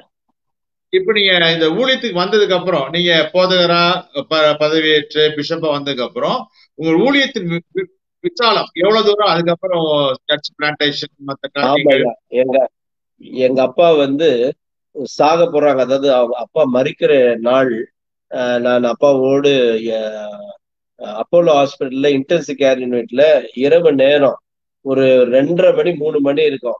இன்டென்ஸ் கேர் யூனிட்டுக்குள்ள நுழையிறேன். எங்க அப்பாவை பார்க்க. அப்போ எங்க அப்பாவை சுத்தி பாத்தீங்கன்னா நிறைய சிஸ்டர்ஸ் நர்சஸ் எல்லாரும் நின்று எங்க அப்பா சத்தமா பாடிட்டு இருக்கிறாங்க. எங்க அப்பா இன்டென்சிவ் கேர் யூனிட்ல அவ்வளோ சத்தமா பாடுறாங்க. ஏசு கிறிஸ்து அன்பு என்ற பாட்டு. அதுதான் நான் முதல் முதல்ல என்னுடைய தினத்துது துதிகீதங்கள் என்ற வால்யூம்ல முதல் பாட்டா ரெக்கார்ட் பண்ணது அதான். அந்த பாட்டு எங்க அப்பாவுக்கு ரொம்ப பிடிக்கும். அதே போல வாரும் தேவா வாருன்ற பாட்டு அப்பாவுக்கு ரொம்ப பிடிக்கும். இந்த ரெண்டு பாட்டை அந்த இன்டென்சிவ் கேர் யூனிட்ல இருந்து சத்தமா பாடுறாங்க. நான் ஒரு ஓரமா ஏன்னா உள்ள நுழைய முடியல. அவ்வளோ நர்சஸ். அங்க இருக்கிற அத்தனை நர்சஸும் அப்பாவுடைய பெட்டுக்கு சுத்தி நிக்கிறாங்க. இரவு ரெண்டரை மூணு மணி இருக்கும். அப்போ அப்பா ஜெபிச்சு முடிச்ச உடனே எல்லா சிஸ்டர்ஸும் என்னை பார்த்து இப்படி ஒரு நல்ல ஒரு தகப்பன் உங்களுக்கு இருக்கிறாங்க. உண்மையிலே ரொம்ப சந்தோஷம் ஐயா. நீங்க கொடுத்து வைத்தவங்க இவ்வளவு ஒரு அன்புள்ள ஒரு அப்பாவா உங்களுக்கு அப்படின்னு சொல்லிட்டு எல்லாரும் போறாங்க. அப்ப நான் எங்க அப்பா கிட்ட போறேன். அப்பா வந்து என்னை கையை பிடிச்சிட்டு மகனே நீ நல்லா இருக்கிறியா? அன்னைக்கு அடுத்த நாள் இரவு அவங்க சாக போறாங்க. ஆனா அதுக்கு முந்தின நாள் என்னோட கையை பிடிச்சிட்டு அந்த இரவுல என்கிட்ட சொல்றாங்க. அது இரவுல அதிகாலையில என்கிட்ட சொல்றாங்க.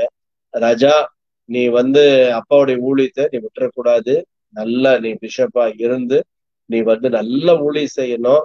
அப்பா வந்து ஏழு சர்ச்சு நான் ஸ்தாபிச்சேன்.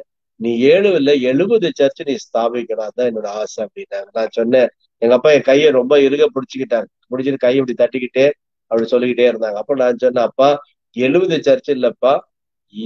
குறைந்தது ஒரு ஆயிரம் சர்ச்சாவது கர்த்தருடைய சித்தம் இருந்தா நான் ஆயிரம் சபையாவது நான் ஸ்தாபிப்பேன். அதான் என்னோட வாஞ்சப்பா. உங்க வாஞ்சியை நான் நிச்சயமா நிறைவேற்றுறேன் அப்படின்னு எங்க அப்பா என்னோட கையை பிடிச்சு ஒரு முத்தம் கொடுத்துட்டு இது ஒண்ணுதான்டா நமக்கு வேணும். ஒரு ஊழியம் மட்டும் நல்லபடியா செய்க அதுதான் நமக்கு நம்மளுடைய எதிர்கால ஆசீர்வாதமே அதுலதான் இருக்குது. அப்படி சொல்லி எங்க அப்பா கடைசியா என்னோட பேசினதுதான் கடைசி வார்த்தை. அப்பா அந்த வார்த்தையை சொல்லி அடுத்த நாள் இரவு அவங்க அதே இன்டென்சிவ் கேர் யூனிட்ல மறித்து போறாங்க.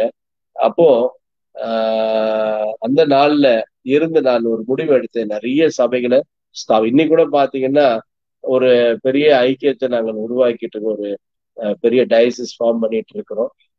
ஏதேன் டயசிஸ் என்று சொல்லி ஒரு டயசிஸ் ஃபார்ம் பண்ணி அதுல நிறைய திருச்சபைகளை ஸ்தாபிப்பதற்காக நிறைய ஏற்பாடுகள் செய்துட்டு இருக்கிறோம். ஆஹ் அதாவது திருச்சபை இல்லாதவங்களுக்கு நல்ல சபைகள் கட்டி கொடுப்பதற்காக நிறைய சர்ச்சஸ் கட்டி கொடுத்துருக்குறோம். இன்னும் நிறைய சபைகள் கட்டி கொடுப்பதற்காக வாஞ்சியா இருக்கிறோம். அதுக்கு வேண்டிய பண உதவிகள்லாம் கத்திரிடத்திலிருந்து ஒத்தாசிய தேவன் வானத்திலிருந்து அனுப்பிட்டு இருக்கிறாரு தேவன் கொடுக்க கொடுக்க சபைகளை ஸ்தாபிச்சுட்டே இருக்கிறேன். ஆஹ் கர்த்தர் நிச்சயமா ஆஹ் நான் என்னோட தரிசனம் ஆயிரம் சபை.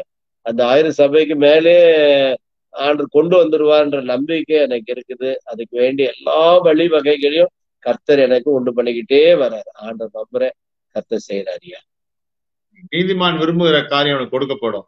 ஆண்டு சொன்னார் உன்னுடைய இருதயத்தின் விருப்பங்களை நான் நிறைவேற்ற கத்தன்றார். உன் வழிகளை அவருக்கு. ஒப்புவித்து வாக்கியம் தேவன்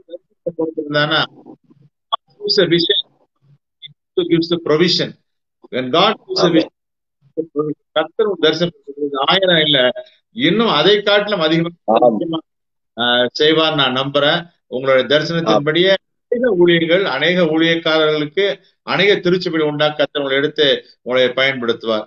ரொம்ப சந்தோஷம் பையா சரி வாழ்க்கையில இப்படி இப்படி செஞ்ச மிகப்பெரிய காரியம். இப்படி தேவன் இப்படி மாத்திரம் எங்க வாழ்க்கையில வரலைன்னா ஆஹ் எனக்கு எந்த எந்த இன்னைக்கு வந்திருக்க மாட்டேன். அந்த இன்டர்வென்ஷன் அந்த என்கவுண்டர் அன்னைக்கு கத்த இந்த காரியத்தை செய்யலைன்னா என்னால வந்து இவ்வளவு பெரிய நிலைக்கு மாட்டேன். அப்படி சொல்லக்கூடிய ஏதாவது காரியம் உங்க வாழ்க்கையில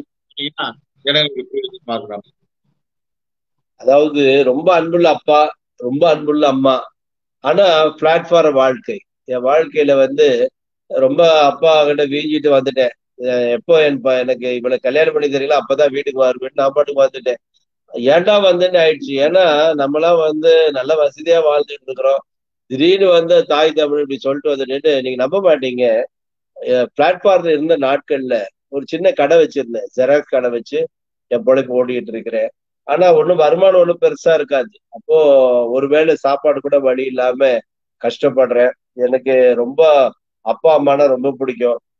அன்புனா ரொம்ப பிடிக்கும். இந்த அப்பா அம்மா இல்லாத அன்பு இல்லாம ரொம்ப தவிச்சிட்டு இருக்கேன். என்னைக்காவது ஒரு நாள் வந்து அப்பா அம்மா என்னை கூப்பிட்டு விடுவாங்களா? எப்படா வீட்டுக்கு போலாம் அப்படின்னு காத்துட்டு இருக்கிறேன். எங்க அப்பா வந்து ஒரு நாளும் என்னை கூப்பிடல. அப்படியே விட்டாரு. அப்போ என்னடா நம்மளும் வந்துட்டோம். இப்ப அப்பாவும் கூப்பிடலையே என்ன இப்படி மாட்டிடுவோம் ஆனா ஒரு நாள் எங்க அம்மா வராங்க. கார் எடுத்துட்டு. நான் நினைச்சேன் அப்பா எங்க அம்மா என்னை கூட்டு போக வராங்க. அப்படின்னு சொல்லி ரொம்ப சந்தோஷமா அந்த பசி நேரத்துல அந்த அன்புக்காக ஏங்குற நேரத்துல நான் வந்து அம்மா கிட்ட போய் பேசுறேன். அப்பவுமே எங்க அம்மா சொல்றாங்க இன்னைக்கே நீ வீட்டுக்கு வா. ஆனா அந்த பொண்ணை மட்டும் கல்யாணம் பண்ணி தரமாட்டேன். அப்படின்றாங்க. அப்போ நான் எங்க அம்மா சொல்றேன்மா அம்மா நான் இவ்வளவு தூரம் கஷ்டப்பட்டு வெளில வந்து இந்த பொண்ணை கல்யாணம் பண்ணணும்னு சொல்லி தானே வந்தேன். உங்களை மாரி நல்ல மனசுள்ள பொண்ணுமா அதனாலதான் நான் அவளை கல்யாணம் பண்ணணும் ஆசைப்படுறேன். அப்படிலாம் சொல்லி ரொம்ப கன்வின்ஸ் பண்றேன். எங்க அம்மாவும் ஓரளவு கன்வின்ஸ் ஆயிட்டாங்க. ஆனா எல்லாம் பேசி ஈசி முடிச்சிட்டு போறாங்க. கூட்டிட்டு போயிடுவாங்கன்னு நினைச்சேன். ஏன்னா அவ்வளவு பசி அவ்வளவு வேதனை. அப்போ எங்க அம்மா அப்படியே விட்டுட்டு போயிட்டாங்க. அந்த கார் போகுது. என் உள்ள உடஞ்சி போயிடுச்சு. என்ன பெத்த தாய் நம்மளை விட்டுட்டு போயிட்டாங்களே. ஒருவேளை கூட சாப்பிடலன்ட்டு சொல்லியிருக்கிறேன் கையில அதிகமா பணம் இல்லாமான்றேன் ஆனாலும் எங்க அம்மா போயிட்டாங்க அப்படின்னு சொல்லி ரொம்ப மனம் உடஞ்சிருச்சு. அப்புறம் சரி கல்யாணம் பண்ணதுக்கு அப்புறம் கூட எனக்கு வந்து எங்க அப்பா ஒரு நூறு ரூபாய் கூட கொடுக்கல. அப்போ எங்க அப்பாட்ட கேட்பேன் நான் எங்கப்பா போய் வேலை செய்யறது? நான் யாருக்கிட்டப்பா போய் வேலை செய்யுது நான் வேலை செஞ்சா இன்னாருடைய பையன் வேலை செய்யறான்னு நினைப்பாங்களே? அப்படின்னும் போது எங்க அப்பா சொல்லிடுவாங்க உனக்கு சாப்பாடு இருக்குது வீட்டுல உனக்கு எல்லாம் இருக்குது. அப்போ உனக்கு எதுக்கு பணம் வேணும் அப்படின்னுவாங்க. அப்போ நல்ல ஒரு தாய் தகப்பன் தான் இருந்தாலும் எங்க அம்மா அப்பா என்னை விசுவாசத்துல வளர்க்கறதுக்காக அப்படி பண்ணியிருப்பாங்களோன்னு நினைக்கிறேன். அப்போ என் கையில ஆஹ் பணமும் இல்லாம அப்படி கஷ்டப்பட்ட நேரம் தான் நான் ஒன்னேன்னு உடந்தேன் இந்த உலகம் மாயி. பெத்த தாய் பெத்த தகப்பன் சொந்த பந்தங்கள் எல்லாம் மாயை. அப்படின்றது அந்த நாட்கள்ல நான் உணர்ந்தேன். அப்படி என் வாழ்க்கையில கஷ்டத்தை அதிகமா நான் ருசி பார்த்தேன்.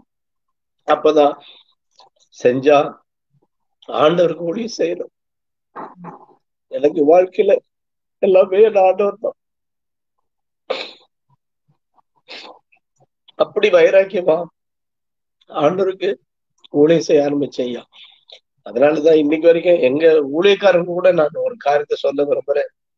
யாருக்கிட்ட ஊழியத்துக்கு போனாலும் என்ன வேணும்? உங்களுக்கு ஊழியத்துக்கு என்ன வேணும்? உங்களுக்கு எவ்வளவு காணிக்க கொடுக்கணும்? அப்படின்னா யாரும் எதுவுமே வேண்டாம் சொல்லிடுங்க. ஏன்னா இலவசமா பெற்றோம்.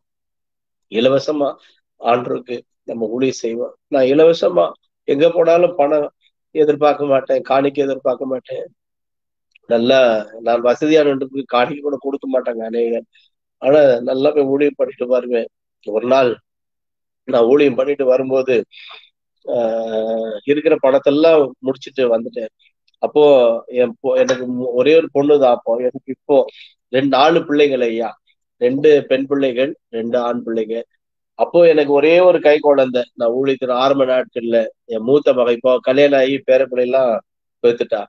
ஆனா அந்த நாட்கள் அவ சின்ன குழந்தையா இருக்கும்போது அவளுக்கு ஆசையா ஏதாவது வாங்கி கொடுக்கணும் அப்படின்னு சொல்லி கையில நூறு ரூபாய் போலதான் இருந்தது. ஏன்னா அது ஆட்டோவுக்கு நான் செலவு பண்ணணும் அப்படிப்பட்ட சூழ்நிலை நான் வீட்டுக்கு போறதுக்கு. ஆனா அந்த பிள்ளைக்கு நான் போய் ஏதாவது ஒரு பொம்மை வாங்கிடணும் பொம்மை கடையில போய் காலையிலே இந்த ரயில்வே ஸ்டேஷன் சென்ட்ரல் ஸ்டேஷனுக்கு ஊழியத்தை முடிச்சுட்டு வரும்போது சென்ட்ரல் ஸ்டேஷன்ல வந்து இறங்கி நான் வீட்டுக்கு போற ஆட்டோ எடுத்து போகணும். அப்போ ஒரு பொம்மை கடையில போய் நான் கேட்கறேன் இந்த பொம்மை எவ்வளவுப்பா அப்படின்னு கேட்கிறேன் அவர் ரொம்ப தாசி சொல்றாரு. எனக்கு ஒரு ஐம்பது ரூபாய்க்கு கொடுப்பா அப்படின்னு சொல்லி கேட்கிறேன் காலையிலே வந்துட்டான் ஐயா சாவுகிறாக்கி அப்படின்றாரு. அப்போ எனக்கு ரொம்ப நொடிஞ்சு போயிட்டேன். என்னடா நம்ம பிள்ளைக்கு ஆசையா ஒரு பொம்மை வாங்கலாம் பார்த்தா சாவுகிறாக்கின்றாங்களே அப்படின்னு சொல்லிட்டு சரி சரி ரொம்ப கவலையோட ஆட்டோல வந்துட்டு இருக்கிறேன். நீங்க நம்ப மாட்டீங்க நான் வீட்டுக்குள்ள போறேன். நான் எந்த பொம்மை வாங்கணும்னு ஆசைப்பட்டனோ அதே பொம்மை என்னுடைய மனைவி வந்து கையில காட்டுறான் உங்க ஃப்ரெண்ட் உங்க கூட படிச்சவரு நேத்து வந்திருந்தாரு உங்க பையனுக்கு உங்க பொண்ணுக்கு. இப்படி ஒரு பொம்மை கொடுத்துட்டு போயிருக்கிறாரு அப்படின்னு சொல்லி நான் அன்னைக்கு நேத்து எனக்கு போன்லயும் சொன்னா வந்தது சொன்னா ஆனா இந்த பொம்மை கொடுத்தது சொல்லல. அப்போ அந்த டாய் அந்த நேரத்துல பார்த்த உடனே என் கண் கலங்கிடுச்சு. என்னன்னா நம்ம என்ன ஆசைப்பட்டோம் அத நம் தேவன் இன்னைக்கு வரைக்கும் நான் சொல்றேன் ஐயா நான் என்ன என்ன ஆசைப்பட்டனோ நான் அதிகமா ஆசைப்பட மாட்டேன். ஊழிய வாஞ்சதான் எனக்கு. அப்ப நான் என்ன ஆசைப்பட்டாலும் அதை என் தேவன் இந்த நாள் வரையிலும். எனக்கு ஒரு நன்மையும் குறைந்து போகாதபடி. ஒரு நாள் நான் ஆயிரம் ரூபாய் ஆஹ் ஒரு ரூபாய் கூட கையில இல்லாம நான் என்னுடைய தினத்தூது ஆபீஸ்க்கு நான் போறேன். அப்போ என்னுடைய மனைவி கேக்குறா பர்ஸ்ல ஒண்ணுமே இல்லை நான் பர்ஸ பார்த்தேன். ஒரு ரூபாய் கூட இல்ல. என்ன பண்ணுவீங்க? அப்படின்னா நான் சொன்னேன் அப்படிலாம் சொல்லாது இனிமாவது ஒண்ணும் இல்லைன்னு சொல்லாது. நான் என்னோடு இருக்கிற தெய்வன் பெரியவர். அதெல்லாம் ஆண்டர் என்னை அற்புதமா நடத்துவார் அப்படின்னு சொல்லிட்டு அந்த ஆபீஸ்ல போய் ஜாப் பண்ணிட்டு அந்த சேர்ல உட்கார்றேன் உட்காரும் போதே ஒரு மணி ஆர்டர் வருது. என்னன்னு பார்த்தா ஆயிரம் ரூபாய் எனக்கு ஆண்டர் மணி ஆர்டர் அனுப்பியிருக்கிறாரு அந்த மணி ஆர்டர் பார்த்த உடனே அதை எடுத்து அப்படி பர்ஸ்குள்ள வச்சு வாலெட்ல வச்சு என் பாக்கெட்ல வைக்கிறேன். அப்போ ஆண்டர் நன்றி சொன்னேன். என் மனைவி இப்பதான் கேட்டாங்க ஒரு ரூபா கூட இல்லாம போறீங்க அப்படின்ட்டு. ஆண்டர் ஆயிரம் ரூபாய் கொடுத்து ஆண்டரை என்னை கனப்படுத்தினார் அந்த மாதிரி எத்தனையோ சாட்சிகள் எத்தனையோ நாட்கள் இல்லாத சூழ்நிலையில கத்தனை நடத்தி என்னை இன்னைக்கு பாத்தீங்கன்னா ஆஹ் எல்லார விட என்னை ஆசிர்வதித்து ஆண்டர் அற்புதமா ஒவ்வொரு நாட்களும் அவருடைய நன்மையும் கிருமையும் என்னை தொடர்ந்து கொண்டேதான் இருக்குது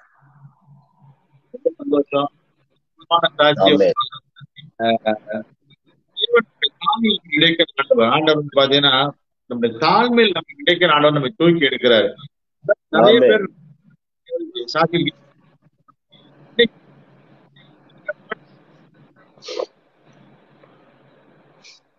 பார்க்கும் கஷ்டப்பட்டு உடைக்காக கஷ்டப்பட்டுக்கிறாங்க அந்த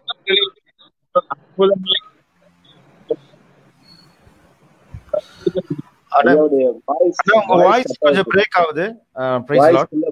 வாய்ஸ் கொஞ்சம் பிரேக் ஆகுது. Thank you so much praise Lord thank you so much அண்ணா. ராஜா அண்ணா ஒரு ரொம்ப சந்தோஷம். நான். வந்து ஆக்சுவலி வந்து உங்களை நான் உங்க ஒரு ஃபேன் நான். எப்படின்னா அரக்கோணம் பகுதியில் நான் வாழ்ந்திருந்தேன் சிறு பிராயத்துல. அப்போ வந்து உங்களுடைய தினத்தூது பத்திரிகை எல்லாம் நாங்க வந்து ரொம்ப விரும்பி படிப்போம். ரொம்ப ஒரு அருமையான ஒரு லீட் பண்ணுவீங்க உங்களை. உங்களுடைய வார்த்தைகள் செய்தி எல்லாமே ரொம்ப எக்ஸலண்டா இருக்கும். உண்மையிலேயே இந்த வந்து அமர்ந்ததுக்கு நான் ரொம்ப சந்தோஷப்படுறேன். ஏன்னாக்கா பிகாஸ் எங்க வந்து இந்த இந்த டிவில வந்து இந்த மாதிரி ஒரு அருமையான ஒரு டெஸ்ட் பண்ணி சொல்லும்போது ரொம்ப சந்தோஷமா இருந்தது. எங்களுக்கும் ஒரு ஊழிய வாஞ்சை. உங்களை பார்க்கும்போது ஒரு வார்த்தை சொன்னீங்க. இலவசமாய் பெற்றீர்கள் இலவசமாய் கொடுங்கள். இட்ஸ் நான் அடிக்கடி இந்த வார்த்தை நான் இதே குட்கா டிவில என்னுடைய ஊழியத்துல நான் பயன்படுத்துறேன். ஏன்னாக்கா தேவன் நம்மை வல்லமையா வழிநடத்துறேன் நான் கொஞ்சம் மியூட் போட்டுருக்கேன் அப்போ தேவன் நம்ம அபரிவிதமான காரியங்களை நடத்தும் போது உண்மையிலே எனக்கு கண் கண் கண்ணீர் வந்தது. உங்களுடைய இருவருமே இருவருமே சேர்ந்து அழும்போது ஒரு தாயினுடைய அன்புக்காக ஏங்கின நாட்கள் உண்டு. எனக்கா திருமணம் ஆகிறதுக்கு வந்து நம்ம ஒரு போராடி ஒரு மேரேஜ் பண்ணிக்குவோம். அதுக்கப்புறம் ஒரு தாயின் அன்பு ஒரு தனியா எக்ஸ்பெஷலி ஒரு கிரியேட் ஆகும். எனக்கா சகோதரி நீங்க மேரேஜ் பண்ணணும்ன்ற ஒரு பிடிவாதம். அந்த பிடிவாதத்துல உண்மையிலே எங்க சகோதரி உங்களை நல்லா அருமையா பாதுகாத்து கொண்டிருக்காங்க. உங்களை நல்லா ஒரு ஒரு அன்பா அரவணைப்போட வைத்து கொண்டிருக்காங்கிறது உங்களுடைய பார்க்கும்போதே தெரிகிறது. ஏனென்றால் நல்லா ஒரு அன்போடு உங்களை வழிநடத்துறாங்க. உண்மையிலே ஒரு ஒரு அதாவது ஒரு பிராமின் பின்னணியில இருந்து வந்து அந்த சகோதரி நம்ம இயேசு கிறிஸ்துவை ஏற்றுக்கொண்டது வந்து பெரிய ஒரு விஷயம். உண்மையிலே இது ஒரு பெரிய ஆத்ம ஆதாயம் தான் நீங்க பண்ணிருக்கீங்க வாழ்க்கையில. ஏன்னாக்கா ஒரு சகோதரி கொண்டு வந்து ஒரு ஆண்டவரை ஏற்றுக்கொள்ளும்படி நீங்க செய்ததுனாக்கா இது தேவ திட்டம் தான் நான் சொல்ல முடியும். ஏன்னாக்கா அவங்கள கொண்டு ஆண்டவருடைய சித்தம். அப்போ ஆண்டவருடைய சித்தம் போது கொஞ்சம் அவங்களுக்கு கொஞ்சம் கஷ்டமா தான் இருந்திருக்கும். எப்படின்னாக்கா ஆண்டவரை ஏற்றுக்கொள்ளும் ஏன்னாக்கா அவங்க மூணு விதமான பொட்டு வைத்து போனவங்க அவங்க. சோ அந்த ஒரு பேக்ரவுண்ட்ல இருக்கும்போது அவங்க வர்றது ரொம்ப கஷ்டம். ஆனா தேவன் பாருங்க அவங்கள எவ்வளவு அருமையா ருசி பார்க்கும்படியாக தேவனை ருசி பார்க்கும்படியாக செய்தாங்க. அதுக்கு குறிப்பா அம்மா வந்து ரொம்ப உங்களுக்கு உறுதுணையா இருந்திருக்கிறாங்க. ஆஹ் ரொம்ப சந்தோஷமா இருக்கு உங்களுடைய வாழ்க்கையின் வரலாறு பின்னாடி எல்லாம் வந்து பாத்தீங்கன்னாக்கா இந்த கடந்து வந்த பாதை அப்படின்னு பார்க்க போனாக்கா இன்னும் மூணு எபிசோடு எடுக்க வேண்டியது இருக்குதுன்னா அதனால இந்த தினத்துல அநேகர் வந்து வாழ்த்துக்களை தெரிவித்துக் கொண்டிருக்காங்க உங்களுடைய காரியங்களை குறித்து அதெல்லாம் வந்து ஊழிய வைராக்கியம் அப்படின்னு வரும்போது உண்மையிலே தேவன் நம்ம மகத்தான ஒரு காரியங்கள்ல உன்னதமான ஒரு காரியங்கள்ல அதாவது மலை மேல் உள்ள பட்டணத்தை போல உங்களை வைப்பார் என்றதை முழு நிச்சயத்தோடு நான் விசுவாசிக்கிறேன். ஆனா உங்களுடைய மைக் ரெடி ஆயிடுச்சானே ரவிச்சந்திரன் எந்த idea? நீ உங்களுக்கு மீட் பண்ணுங்க நான் பேசுறேன். ஓகே ஃபைன்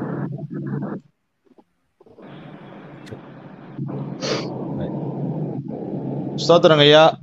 ரொம்ப அற்புதமா நீங்க ரெண்டு பேரும் நீங்க ஷேர் பண்ணிட்டு வரீங்க. ஆமா நீங்க உங்க வாழ்க்கையில ஆண்டவர் இந்த காரியத்தினாலே ரொம்ப சந்தோஷப்படுத்தினாரு. நீங்க சினிமா துறையில இருந்து நீங்க வந்தீங்கன்னு சொன்னீங்க. சினிமா துறையை பற்றி காரியத்தை காட்டில தேவனை தேர்ந்ததுக்கு அப்புறம் இந்த காரியம் இது இதுதாங்க என் வாழ்க்கையில காத்திருச்சு மிகப்பெரிய ஒரு மகிழ்ச்சி ஒரு சந்தோஷம் அப்படின்றத வந்து நீங்க எந்த விஷயத்த சொல்லுவீங்க? கேட்டா நீங்க சொல்றதா இருக்கு சொல்லணும்னு சொன்னா ஆண்டவரை நீ ரட்சித்தாரு. அதுதான் மிகப்பெரிய சந்தோஷம். வாழ்க்கையிலேயே ஆண்டவருடைய ரட்சிப்பை பெற்றுக் கொண்டது அது எவ்வளவு கோடி கொடுத்தாலும் சரி எவ்வளவு பேர் புகழை எடுத்தாலும் சரி எத்தனை ஆசைகளை கொடுத்தாலும் சரி அதற்கு ஈடாகவே முடியாது. ஏன்னா ஒருவனை தேவன் இழுத்துக் கொள்ளாவிட்டால் அவன் இடத்துல வரான் என்று வேதம் சொல்லி பிதாவானவர் ஒருவனை அழை அழைத்துக் கொள்ளாவிட்டால் அவன் என்னிடத்துல வரான். அப்ப ஆண்டவர் என்னை அழைத்து எனக்கு ரட்சிப்பை கொடுத்து இவர்தான் மெய்யான தேவன் என்ற உணர்வுள்ள இருதயத்தை எனக்கு கொடுத்து இன்று அவருடைய பிள்ளையா எனக்கு என்னை வைத்திருக்கிறாரு. எனக்கு நான் இவ்வளவு தூரம் பேசுறேன் அப்படின்னு சொன்னா எனக்கு சினிமால நடிக்கும் போது கூட நான் பேச மாட்டேன். நான் ரொம்ப பயப்படுவேன். ஏதாவது மேடைகள்ல போய் என்னை பேச சொன்னா கூட ஃபங்க்ஷன்ஸ்ல எல்லாம் நான் பேச மாட்டேன். வெறும் பிரைஸ் மாத்திரம் நான் கொடுத்துட்டு போயிடுறேன். மைக்ல என்ன பேச சொல்லாதீங்க. அப்படிதான் நான் சொல்லுவேன். ஆனா இன்றைக்கு ஆண்டவருடைய வார்த்தைகளை பிரசங்கிக்கும்படியாக அது மாத்திரமல்ல அவரை மகிமைப்படுத்தி பாடல்களை எழுதும்படியாகவும் இவ்வளோ கிருபைகளை ஆண்டவர் எனக்கு கொடுத்திருக்கிறாருன்னு சொன்னா இதுக்கு இணை ஈடு எதுவுமே இல்லை. இதுதான் எனக்கு மிகப்பெரிய சந்தோஷம். ஆண்டவர் என்னை அழைத்து என்னை ரட்சித்து அபிஷேகித்து இந்த குடும்பத்தை கொடுத்து வைத்திருக்கிறார். இந்த சந்தோஷத்திற்கு இணையாக எதுவுமே இல்லை. தேவனுக்கு மகிமை உண்டாகும். ஐயா நீங்க நிறைய பாடல் எழுதினீங்கன்னு சொன்னீங்க. ஆமா ஐயா நிறைய ஆமா. இப்ப நீங்க நேயர்களுக்காக நீங்க ஒரு நீங்க ஒரு பாடல் நீங்களும் சிஸ்டர் சேர்ந்து பாடினா ரொம்ப சந்தோஷம். அஹ் நீங்க பாடுபடி கேட்க உங்களோட பாடல் ஒன்று நான் கேட்கிறேன் விரும்புறோம். கண்டிப்பாங்க. இந்த பாட்டு வந்து அன்பை குறித்து எனக்கு அன்புனா நான் ஏற்கனவே சொன்ன அன்புனா ரொம்ப பிடிக்கும். அது அன்பை குறித்து இந்த அன்பு பாட்டு பாடும்போது கணவன் மனைவி மார்களுக்கும் ஒரு நல்ல ஒரு அறிவுரை சொல்ல விரும்புறேன். நீங்க வந்து உங்க மனைவிய உங்க மனைவி உங்க பிள்ளைகள் புருஷர்கள் சொந்த மனைவி சொந்த பிள்ளைகள் கிட்ட எவ்வளவு எவ்வளவு பாசத்தையும் எவ்வளவு எவ்வளவு அன்பை பொழிய முடியுமோ அதுதான் ஒரு மனுஷனுடைய வாழ்க்கையின் ஆசீர்வாதத்தின் ரகசியம். ஆக நூத்தி இருபத்தி எட்டாம் சங்கீதத்தின்படி கத்தருக்கு பயந்து அவர் வழியில் நடக்கிறன் எவனோ அவன் பாக்கியவான் என்று பெய்து வசனத்தின்படி கத்தருடைய பிள்ளைகள் தேவனுக்கு பயப்படுற பிள்ளைகள் சொந்த குடும்பத்தின் மேல அதுல பாத்தீங்கன்னா மனைவி தன் பிள்ளைகள் எல்லாரும் குறித்து சொல்லப்பட்டிருக்கிறது.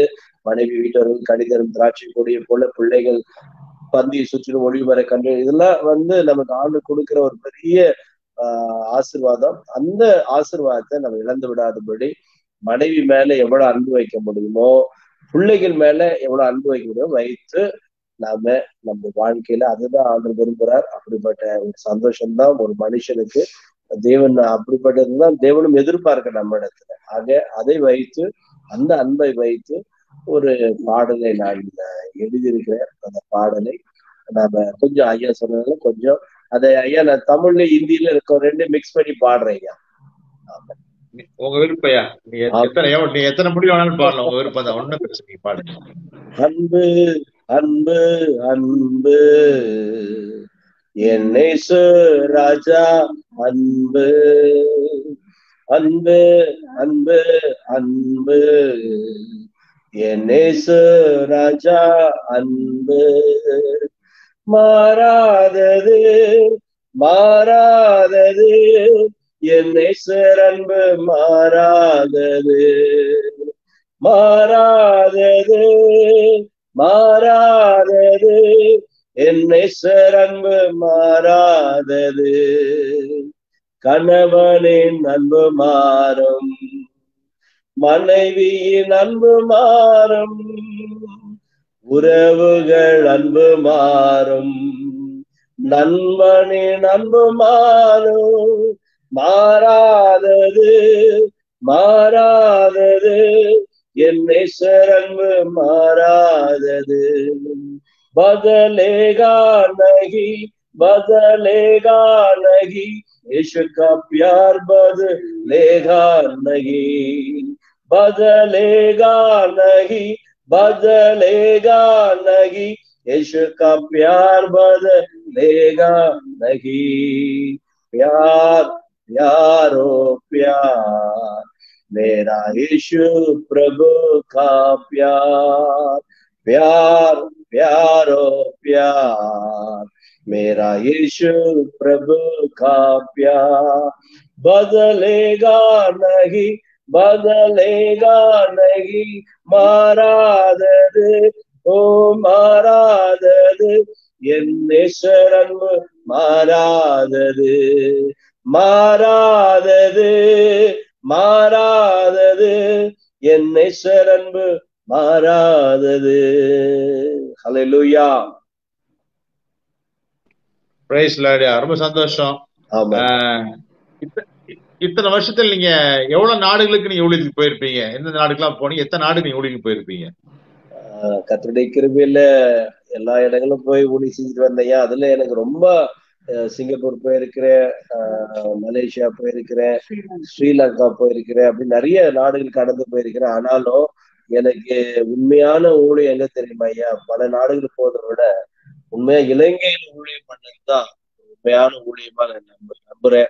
அது ஒரு அருமையான ஒரு ஊழியம். என்ன ஆத்துமாக்கள் அறுவடைலாம் எனக்கு ரொம்ப பிடிக்கும். ஆத்துமாக்களை அறுவடை பண்ணதான் நம்ம ஊழியத்துக்கு பயணம் செய்யணும் அப்படின்னு சொல்லி என்னோட ஆசை. அதனால நிறைய அழைப்பு ஜெர்மன் அங்க எங்கெல்லாம் வந்தது. எதுனா எடுத்துக்கல. ஏன்னா உண்மையா சிங்கப்பூர்ல மலேசியால நல்ல ஊழியங்கள் செய்தோம். ஆஹ் இலங்கையில எனக்கு மூணு இன்னைக்கு கூட இலங்கையில யார் கூப்பிட்டாலும் உடனே ஓடிடும் ஏன்னா இலங்கையில உள்ள மக்கள் எவ்வளவு கஷ்டத்தின் மத்தியிலும் உண்மையாய் தேவனை ஏற்றுக்கொள்கிற ஆத்துமாக்கள் அங்க நிறைய உண்டு. இன்னைக்கு எனக்கு நிறைய நண்பர்கள் இருக்கிறாங்கன்னா அது வந்து இலங்கையில தான் நிறைய மக்கள் இருக்காங்க. என்னை ஊழியத்தை முதல் முதல்ல ராஜாமணி அப்படின்னு சொல்லி கெஸ்டர்னே காஸ்பல் சர்ச்ல இருந்து என்னை முதல் முதல்ல என்னை அழைச்சாங்க. அழைக்கும் போது இருபத்தி மூணு நாட்கள் என்னமோ என்னை ஊழியத்துக்கு அழைச்சாங்க. அந்த இருபத்தி மூணு நாட்களுக்கு சொல்லும் போது அவங்க அந்த போதகர் ரொம்ப ஸ்ட்ரிக்டான போதகர்கிட்ட சொன்னாரு. ஏதோ வந்தோம் போனோம்னு வந்துடக்கூடாது ராஜா ஐயா.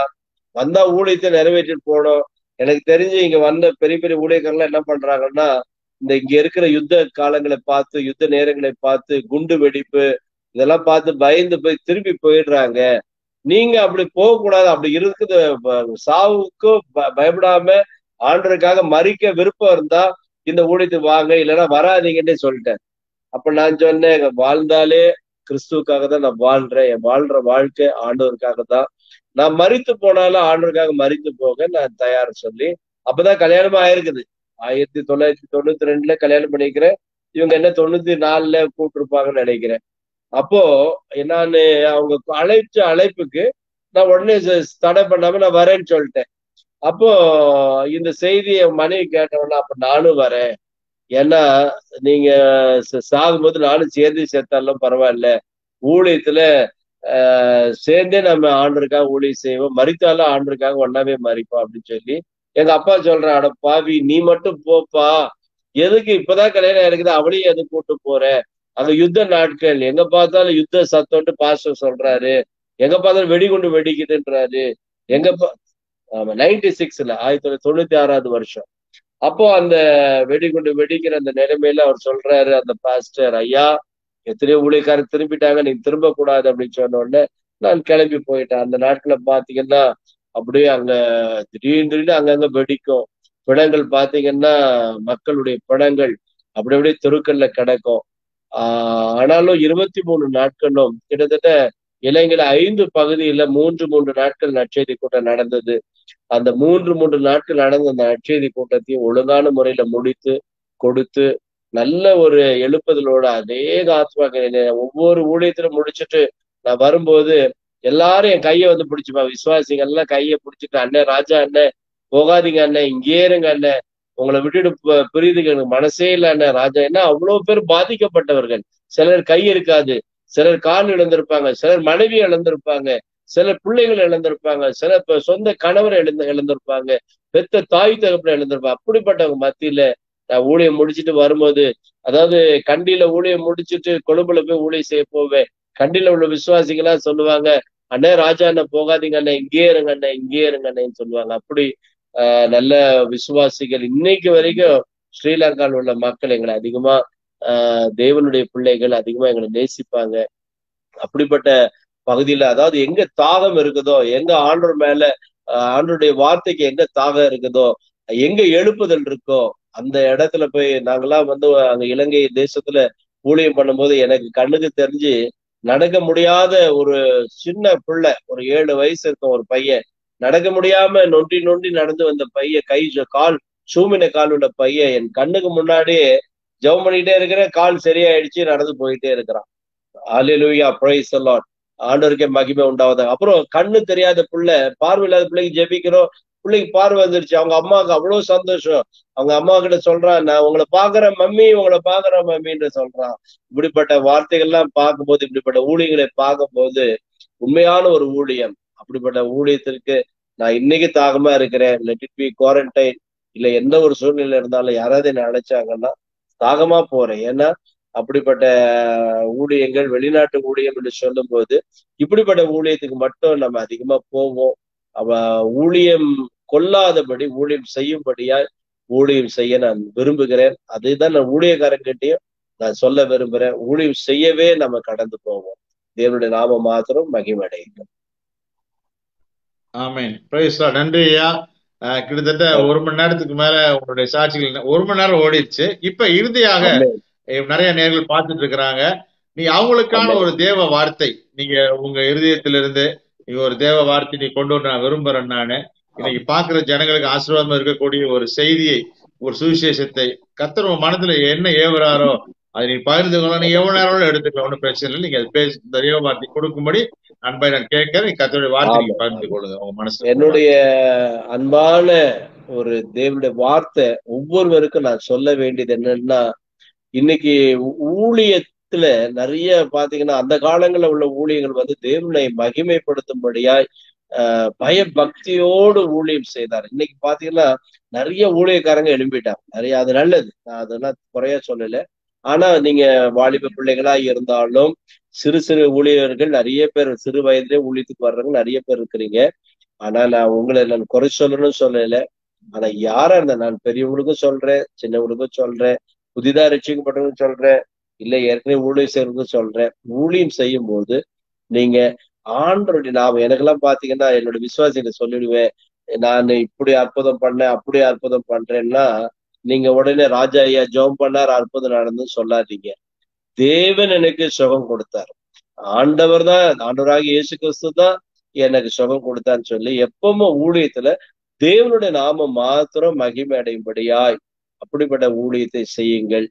ஊழியக்காரர்களுக்கு அதுதான் சொல்றேன். விசுவாசிகளுக்கும் அதுதான் சொல்றேன்.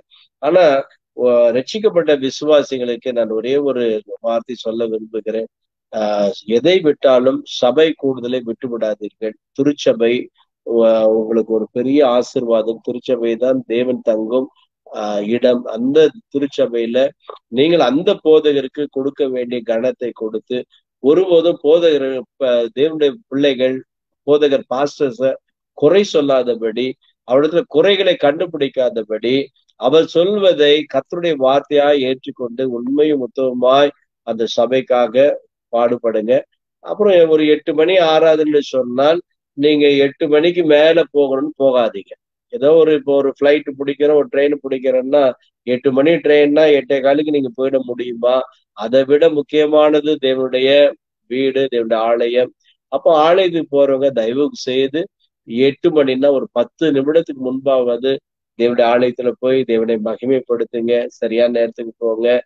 ஆஹ் என்னோட விசுவாசம் நான் அடிக்கடி சொல்லுவேன் ஒரு வார்த்தை we should do something for the Lord அப்படின்னு அடிக்கடி இந்த வார்த்தையை வாயிலிருந்து வந்துடும் என்னன்னா ஏதாவது ஆண்டவருக்கு நம்ம செய்யணும் ஏதாவது சம்திங் ஏதாவது ஆண்டவருக்காக ஆத்துமாக்களை அறுவடை பண்ணணும். ஆ- ஆண்டவருக்காக சாட்சி உள்ள வாழ்க்கை வாழணும் பரிசுத்த வாழ்க்கை வாழணும். தேவனுக்காக அநேகரை நாம தேவன் பக்கத்துல சேர்க்கணும். இப்ப கூட பாத்தீங்கன்னா குவாரண்டைன் நாட்கள் கொரோனா வைரஸால எல்லாரும் பயந்து தேசமே உலகமே பயந்து போயிருக்கிற இந்த நாட்களில நம்ம பயப்பட வேண்டிய அவசியம் இல்லை. ஏன்னா தேவனுடைய வார்த்தை கீழ்ப்படிந்து தேவனுடைய பிள்ளைகளாய் உண்மையும் உத்தமமா நல்ல இருதயத்தோடு கூட நம்ம ஆண்டவருக்கு முதலிடத்தை கொடுத்தா அதாவது நம்ம ஒரு பெரிய தலைவனா இருக்கலாம் இல்ல ஒரு பெரிய தொழில் அதிபரா இருக்கலாம் இல்ல ஒரு பெரிய மனுஷனா இருக்கலாம் இல்ல ஒரு பெரிய குடும்பத்தின் தலைவனா கூட இருக்கலாம் எதுவும் உங்களை பரலோகம் கொண்டு போய் சேர்க்காது. நம்ம ஆண்டுடைய பிள்ளை என்ற ஸ்தானத்துல பெருமைகள் எல்லாம் விட்டு விட்டு நம்முடைய உள்ளத்துல பெருமையோ இல்ல நான் இப்படி நான் தினத்துது ராஜா நான் பேராயர் என் வாழ்க்கையில பேராயர்ன்ட்டு ஒரு நாளும் நான் அதிகமா சொல்ல விரும்பவே மாட்டேன். ஏன்னா இதெல்லாம் ஆண்டவர் கொடுக்கிற காரியம் அது நம்ம சந்தோஷமா ஏத்துக்கிறோம்.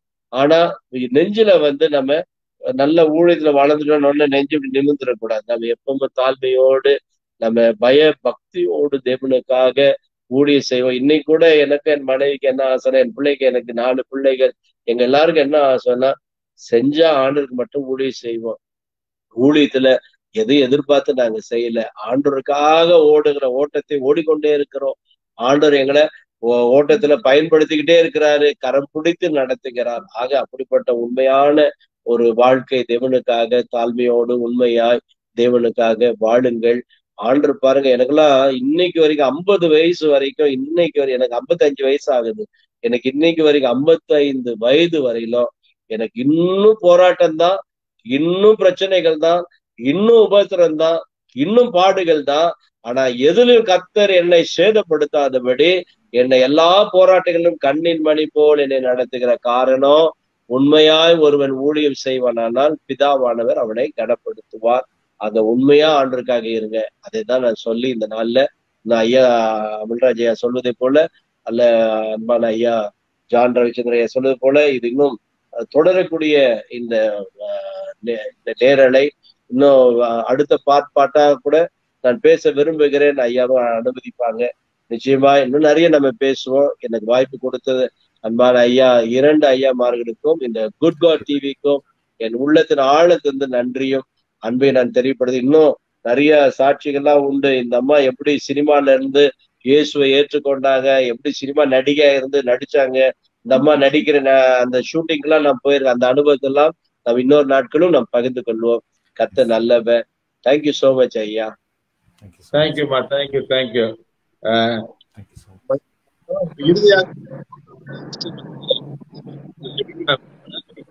கொரோனா வைரஸ் உள்ள நாட்கள் இருக்குது. ஜனங்களுக்காக இது பார்த்து கொண்ட மக்களோட ஆசீர்வாதத்திற்காக இந்த நிகழ்ச்சியை பார்த்த ஒவ்வொரு மக்களுடைய வாழ்க்கையில தெய்வீக சமாதானத்துக்காக சுகத்திற்காகவும் கோவிட் இறுதியாக ஜெபத்தை பண்ண வாய்ஸ் பிரேக் ஆகுது. வாய்ஸ் ரொம்ப பிரேக் ஆகுது. மகா பரிசுத்தம் நல்ல பிதாவே இப்படிப்பட்ட கடைசி காலங்களிலே தேவனுடைய வருகையின் அடையாளமான இந்த நாட்களிலே நாங்கள் வாழ்ந்து கொண்டிருப்பது ஆண்டவரை நீர் கொடுத்த ஒரு பெரிய பாக்கியம் கடைசி நாட்களிலே இந்த உலகத்திலே கொள்ளை நோய்கள் பூகம்பங்கள் பூமி அதிர்ச்சிகள் மற்றும் வெட்டுக்கிளிகள் அப்புறம் இன்னும் பயங்கரமான காரியங்கள்லாம் இந்த உலகத்துல சம்பவிக்கும் என்ற வேதத்தில் வாசிக்கிற ஒவ்வொரு காரியமும் நாங்கள் கண்களுக்கு முன்பாய் கண்டு கொண்டிருக்கிறோம். இப்படிப்பட்ட கடைசி நாட்களிலே மனுஷர்கள் நீங்கள் இந்த உலகத்துல மனிதர்கள் பிறக்கும் போது எதையும் கொண்டு வரல எதையும் கொண்டு போக போவதும் இல்லை. ஆனா வாழ்கிற நாட்களிலே நாம் தேவனுக்கு சாட்சியாய் வாழும்படி நம்முடைய வாழ்க்கையை அர்ப்பணிப்போம். நிச்சயமாய் ஆண்டவரே இந்த நாளில ஆஹ் ஒவ்வொரு கிறிஸ்துவை அறிந்தவர்களுக்கும் கிறிஸ்துவை அறியாதவர்களுக்கும் நான் ஜெபிக்கிறேன். இந்த உலகம் எல்லாம் மாயை உலகத்தின் மனிதனுடைய அன்பு மாயை உலக மனுஷர்கள் உறவினர்கள் எல்லாருடைய அன்பும் மாயை. ஆனா தெய்வத்தின் அன்பு ஒன்றுதான் நேற்றும் என்றும் என்றும் மாறாத ஒரு தூய அன்பு. அந்த பரிசுத்த அந்த அன்புக்காக வாழுங்கள். நிச்சயமாய் சொல்லுகிறேன் அதற்காக தான் தேவன் நம்மை அழைத்தார். அவருடைய புண்ணியங்களை அறிவிக்கும்படியாக தான் தேவன் நம்மை தெரிந்து கொண்டார். அப்படிப்பட்ட கனமான ஊழியத்தை செய்ய தேவன் என்னை அழைத்தார் என்பதை நான் உணர்ந்து தேவனுக்கு நான் நன்றி செலுத்துகிறேன். நீங்களும் இன்னைக்கு ஒரு பெரிய தொழிலதிபராய் வாழ்வதை விட ஒரு பெரிய மாமனிதனாய் வாழ்வதை விட இன்னைக்கு அப்படிப்பட்ட மக்களுடைய வாழ்க்கை எப்படி எப்படியோ இருக்கிறது. ஆனால் நம்ம வாழக்கூடிய வாழ்க்கை கொஞ்ச நாட்கள் வாழ்ந்தாலும் கொஞ்ச நாட்கள் வாழ்ந்து நம்ம மறித்து போனாலும் கிறிஸ்துவுக்காக தேவனுடைய நாம மகிமைக்காக வாழ்ந்து மறிக்கவே தேவன் விரும்புகிறார். அப்படிப்பட்ட சாட்சி உள்ள வாழ்க்கை வாழ்ந்து தேவனுக்காக வைராக்கியமாய் எழும்புங்கள். சாட்சியாய் எழும்புங்கள். தேவன் உங்களை ஆசுவதிப்பார் பிதாவே அந்த கொரோனா வைரஸ்ல பாதிக்கப்பட்ட ஒவ்வொருவருக்காக ஜெபிக்கிறேன். பாதிக்கப்பட்ட பிள்ளைகள் ஒவ்வொருவரையும் கண்ணீர் மணி போல் பாதுகாத்து ஆண்டவரே அவர்களுக்கு நல்ல விடுதலை கொடுத்து ஒருவேளை இழப்பு வந்திருக்குமானால் அந்த குடும்பங்களுக்கு சமாதானத்தை கொடுத்து ஆண்டவர் இந்த கொரோனாவுக்காக உழைத்து கொண்டிருக்கிற டாக்டர்ஸ் ஆண்டவரே நர்சஸ் மற்றும் ஆண்டவரே அட்டண்டர்ஸ் மற்றும் அதிகாரிகள் ஆண்டவரே தலைவர்கள் அப்புறம் போலீஸ் மக்கள் அப்புறம் ஆண்டவரே கார்ப்பரேஷன் மக்கள் மீடியா மக்கள் ஆஹ் அது மாத்திரம் அத்தியாவசிய பொருளை விநியோகம் பண்ண விநியோகஸ்தர்கள் அவர்களுக்காக நாங்கள் வார்த்தோடு ஜெபிக்கிறோம். அப்படிப்பட்ட குடும்பங்களை கத்தர் ஆசுவதியும் ஆண்டவரே அவர்களை தலைமுறை தலைமுறையாய் அவர்களை ஆசுவதிங்கப்பா அந்த குடும்பங்களுக்கு சமாதானத்தையும் சந்தோஷத்தையும் தேவன் கட்டளையிடுங்க எவ்வளவு பயங்கரமான சூழ்நிலையில சிக்கி தவிக்கிற ஒவ்வொரு தேசங்களுக்காக கூட நாங்கள் செபிக்கிறோம். அப்படிப்பட்ட தேசங்களிலும் சமாதானத்தை கட்டளையிடும் ஆண்டவரே இப்படி இங்க இந்திய தேசத்துல இயல்பு நிலைமை திரும்பி கொண்டிருக்குது. அப்படி உலகம் முழுவதும் எல்லா இடங்களும் இயல்பு நிலைமை திரும்பட்டும். முழு விடுதலை தாரும். ஆராதனை கூடாரங்கள் திறக்கப்பட்டதுக்காக நன்றி செலுத்துகிறோம். கர்த்தருடைய நாம மகிமை அடையும் போது பொல்லாத ஆவிகள் நடுநடுங்கி ஓடிவிடும் என்பதை நாங்கள் அறிந்திருக்கிறோம். கர்த்தர் முழு விடுதலை கொடுத்து எங்கள் தேசத்தை கர்த்தர் ஆசிர்வதிக்கும்படியா எங்கள் தமிழகத்தை தேவன் ஆசிர்வதிக்கும்படியா அன்றைய ஊழியர்களிலே ஒரு பெரிய எழுப்புதலை தேவன் தந்தருளும்படியா நாங்கள் செபிக்கிறோம். அன்றவரே ரட்சிக்கப்பட்ட மக்கள் வைராக்கியமாய் ஊழியர் செய்யட்டும். அன்றொரு வாலிப பிள்ளைகள் சிறு பிள்ளைகள் அன்றொரு பெரியவர்கள் ஊழியக்காரர்கள் எல்லாரும் ஆசிர்வதிங்க. ஒவ்வொருவரையும் பயன்படுத்துங்க. தேவனுடைய நாமம் அவர்கள் மூலியமாய் தொடர்ந்து மகிமை அடையட்டும். We give all the உம்முடைய நாமம் ஒன்று மகிமை அடையட்டும். அன்னர் இந்த குட் காட் டிவி சேனலை நடத்துகிற தேவ மனுஷன் அன்பான ஐயாவையும் அவருடைய குடும்பத்தையும் அவருடைய ஊழியங்களையும் ஆசிர்வதி அன்றொரு எங்கள் அன்பான ஜான் ரவிச்சந்திரன் ஐயாவையும் அவருடைய ஊழியங்களையும் அவருடைய குடும்பத்தையும் கத்தர் ஆசிர்வதிங்க. எல்லா துதி கன மகிமை எல்லாம் உமக்கு ஒருவருக்கே செலுத்துகிறோம். எங்கள் அன்புள்ள நல்ல பிதாவே. ஆமேன் ஆமேன். தேங்க்யூ ஐயா. ஆசீர்வாதம் போட்டுருங்க. ஆசீர்வாதம். முடிக்கிறேன். கத்தரை ஸ்தோத்திரி. என் முழு உள்ளமே பரிசுத்த நாமத்தை ஸ்தோத்திரி. என் ஆத்துமாவே கத்தரை ஸ்தோத்திரி. கர்த்தர் செய்கிற சகல உபகாரங்களையும் மறவாதே. ஆமென். கர்த்தருடைய கிருபையும் தேவனுடைய அன்பும் பரிசுதாவின் அன்னிணைக்கமும் சமாதான சந்தோஷம் ஆசீர்வாதமும் இன்றும் என்றும் சதா காலமும் நம் அனைவரோடும் இருப்பதாக. ஆமென் ஆமென் ஆமென். Praise thank you so Thank- much ஐயா. Thank you thank you thank you ரொம்ப நன்றி. உங்களுடைய மிகுந்த அலுவல் மத்தியிலும் நீ நேரங்களை கொடுத்து அற்புதமான சாட்சி. நிச்சயமா நம்புறேன். அநேகருடைய உள்ளங்கள் தொடப்பட்டு நான் நம்புறேன். விசுவாசிக்கிறேன். கத்தர் சித்தமானால் அடுத்த முறை அம்மாவோட சாட்சி நீங்கள் பாடல் ஆராதனையோட தேவ வார்த்தையோட அடுத்த நிகழ்ச்சியில் நீங்க கலந்து கொள்ள நாங்க விரும்புறோம் எதிர்பார்க்கிறோம்.